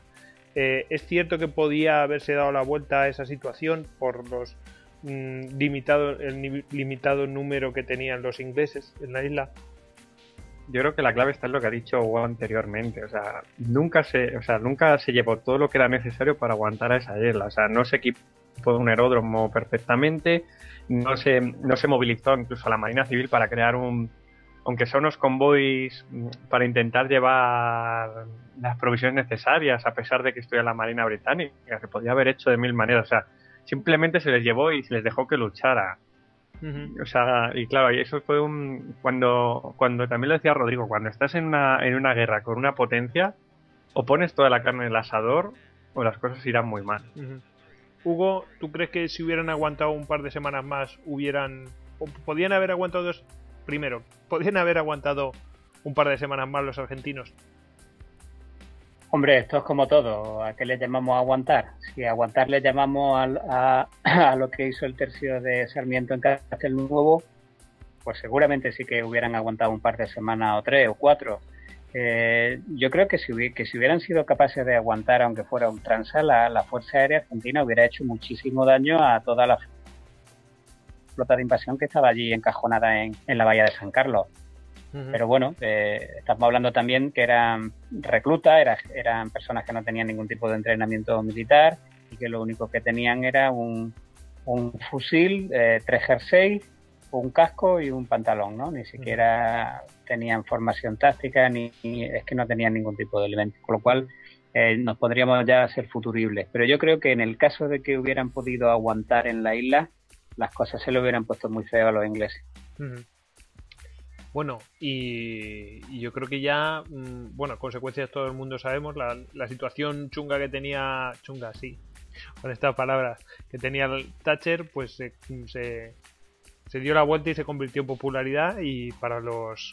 Y la popularidad que tenían y después la popularidad que tuvieron la, la Junta Militar por el tema de la guerra, pues se volvió contra ellos y finalmente cayó. Esas son las, básicamente las consecuencias. A Thatcher se le recuerda bastante por, por ser la dama de hierro, entre otras cosas por, por la victoria esta en la, guerra de las Malvinas. Y ahora yo quiero haceros eh, un par de preguntas. Eh, la primera es eh, si veis, bueno, ya lo ha mencionado Martín, que, que evidentemente esto se utiliza como, como arma política. Si veis eh, mucha casualidad en mm, que el asunto de las Malvinas se utilice ahora para cuando Cristina Fernández Kirchner se está preparando el camino para la RR. Esto nos lo envía nuestro amigo eh, Jesús, arroba Bucaner. Eh, ¿Qué opináis de ello? Es eh, indudable. A esta mujer ya le ya tiene que tapar muchos muchos agujeros en su popularidad y tiene a sus siervos que salen a manifestarse eh, a su favor, pero pero no sé cuánto tiempo le quedará, porque lo de lo del tren fue bastante grave el populismo que está utilizando no puede funcionarle siempre. Le funcionó a la Junta hasta cierto momento y ahora mismo ya eh, le está funcionando, pero llega el momento que eso deje de funcionar. ¿no? Eso es lo que quiere decir. Exactamente, en algún momento el, el carrete se, se le, se le acabará, claro. Y, ya te digo, se, ella ha perdido bastante popularidad con, con el accidente este de tren. Y, bueno, pues eh, a ver cuánto, cuánto le dura, a ver cuánto tardan los argentinos en darse cuenta de, de que detrás de su discurso populista no hay, no hay nada. Eh, y bueno, yo quiero que hacer una. Bueno, yo quiero, bueno, que os hago la pregunta, la segunda pregunta de Jesús. ¿Habrá segunda parte de la guerra de las Malvinas? De ser así, ¿quién dará el primer paso? Bueno, a ver, esto es un what clarísimo. pues yo simplemente dijo una, duda. O sea, tú ahora mismo coges el ejército actual que tiene Argentina, lo llevas a 1982 con el que tenía antiguamente, y yo creo que el del 82 todavía gana el actual porque la mayoría es el mismo. O sea, realmente no, no, ha, no, ha, no ha evolucionado nada. Es uno de los pocos ejércitos que no ha sido capaz de adquirir nuevo material, que se ha quedado muy anclada. O sea, las Malvinas para ellos ha sido como un momento donde tuvieron sus heroicidades y entonces se ha convertido en, la propia, o sea, el, el, propio ejército argentino en un museo gigante donde recuerdan una y otra vez lo mismo. O sea, realmente yo creo que nunca habría, habría unas Malvinas 2 por, por, por, incomparecencia de los, de los actores, básicamente. Sí, hombre. Eh, lo que está claro es que si lo tiene que empezar alguien, lo, lo empezarán los argentinos porque los ingleses ya están allí, ya tienen lo que quieren. Pero como dice David, eh, difícil, difícil. Eh, yo creo que también los eh, también los ingleses, pues me imagino que se habrán hecho más fuertes allí y no se dejarán tomar las Malvinas alegremente. Eh, Hugo, ¿qué opinas de ello? Yo, como dicen los abogados, no hay caso. No hay caso, vale. No hay caso. Perfecto. Ya no. Ya no, es imposible. Argentina ya no, no tiene ni siquiera los medios para, para poder afrontar una invasión de las Malvinas. Y con los con la tecnología actual que hay de misiles antiaéreos desplegados en tierra, es imposible. Esto ya no, esto se soluciona de una manera diplomática o vamos otra guerra en las Malvinas no vamos a ver. Bueno y ahora vamos a hablar un poco de la bibliografía de, esta guerra de la guerra de las Malvinas y para ello pues tenemos la, colaboración de, de, Nobilis. Tenemos a, Javi. Qué tal Javi hola buenas buenas noches bueno, ¿qué tal, eh, qué tal todo? ¿Cómo, cómo, va con Nobilis y, y, tal, el proyecto de Nobilis? Pues bien, bien sigue adelante a pesar de, bueno, a pesar, aún con los cinco años que lleva casi en la red, que eso ya es un, un récord, pues sigue siendo una de las páginas de los blogs de, libros más visitados y, de referencia. Y nada, yo estoy muy contento. Pues es que vamos a hacer a partir de ahora vamos a hacer una colaboración con Nobilis en la, en la cual pues ellos nos van a recomendar eh, los libros eh, relacionados con el tema, pues, pues porque más experiencia que ellos en, en, ello, pues, pues solamente tienen los expertos de los temas. Por eso vamos a tratar con ellos. Eh, pues nada, a ver ¿qué, recomendaciones tenemos para, para hoy, para la guerra de las Malvinas. Bueno, para la guerra de las Malvinas, los, los, los colaboradores de Nobilis que en su día reseñaron eh, algún libro relacionado con este conflicto es una trilogía de un autor, el comodoro Pablo Marcos Carballo, que fue un piloto eh, veterano del conflicto, que escribió tres libros y, que han quedado referenciados como, como los más importantes. Eh, sobre la bibliografía de las Malvinas, obviamente habrá muchos libros, lo que pasa que aquí en España realmente no ha llegado prácticamente nada. todo la bibliografía está ubicada allí en Argentina. Luego otra de las cosas que viendo bibliografía sobre este conflicto eh, destaca es que eh, lo que más hay o digamos lo que más les gusta a ellos destacar es el tema de, la guerra aérea. Es, un poco que ha quedado como lo más así a nivel, mm, perdón por la expresión romántico del conflicto eh, lejos de, de, las penalidades que pasaron los soldados en, en las islas y demás, el conflicto aéreo ha sido lo que, lo que a ellos les da un poco más de, empaque, ¿no? Y así. Entonces, los libros que hay recomendados son una trilogía que, que se llama eh, Halcones de Malvinas, Dios y los halcones y halcones sobre Malvinas. Y es una recopilación de Comodoro Pablo Marcos Carballo, que no solo son sus memorias, sino que él ha hecho una recopilación eh, a otros oficiales y suboficiales de, la Armada de la Argentina que participaron en el, en el conflicto con innumerables misiones de bombardeo sobre los, sobre los eh, convoyes y sobre los navíos de la Royal Navy. Y, bueno, según el, el, colaborador que lo reseñó en, en Nobilis, pues es unos libros que son casi de casi de, de, ¿cómo se dice?, de escuela militar, ¿no? Para estudios. Sí, sí, para, para que lo estudien los futuros pilotos, por ejemplo. Eso es. De hecho, hay algún comentario que otro de, alguna persona que se está preparando para entrar en la academia de allí de Argentina y que, y que pregunta por los libros, dónde los puede conseguir, que los necesita. O sea que sí, se consideran allí como, vamos, como un testimonio de primera mano y como algo eh, muy importante que describe muchas acciones de las que tuvieron lugar. acciones, muy novedosas por, otra parte. Pues nada, nos quedamos con esta trilogía que, como hemos dicho antes, eh, es de primera mano y además, pues, eh, digna de, estudios militares directamente. Pues nada, un saludo Javi y nos vemos en el próximo podcast. Venga, perfecto, Hasta luego.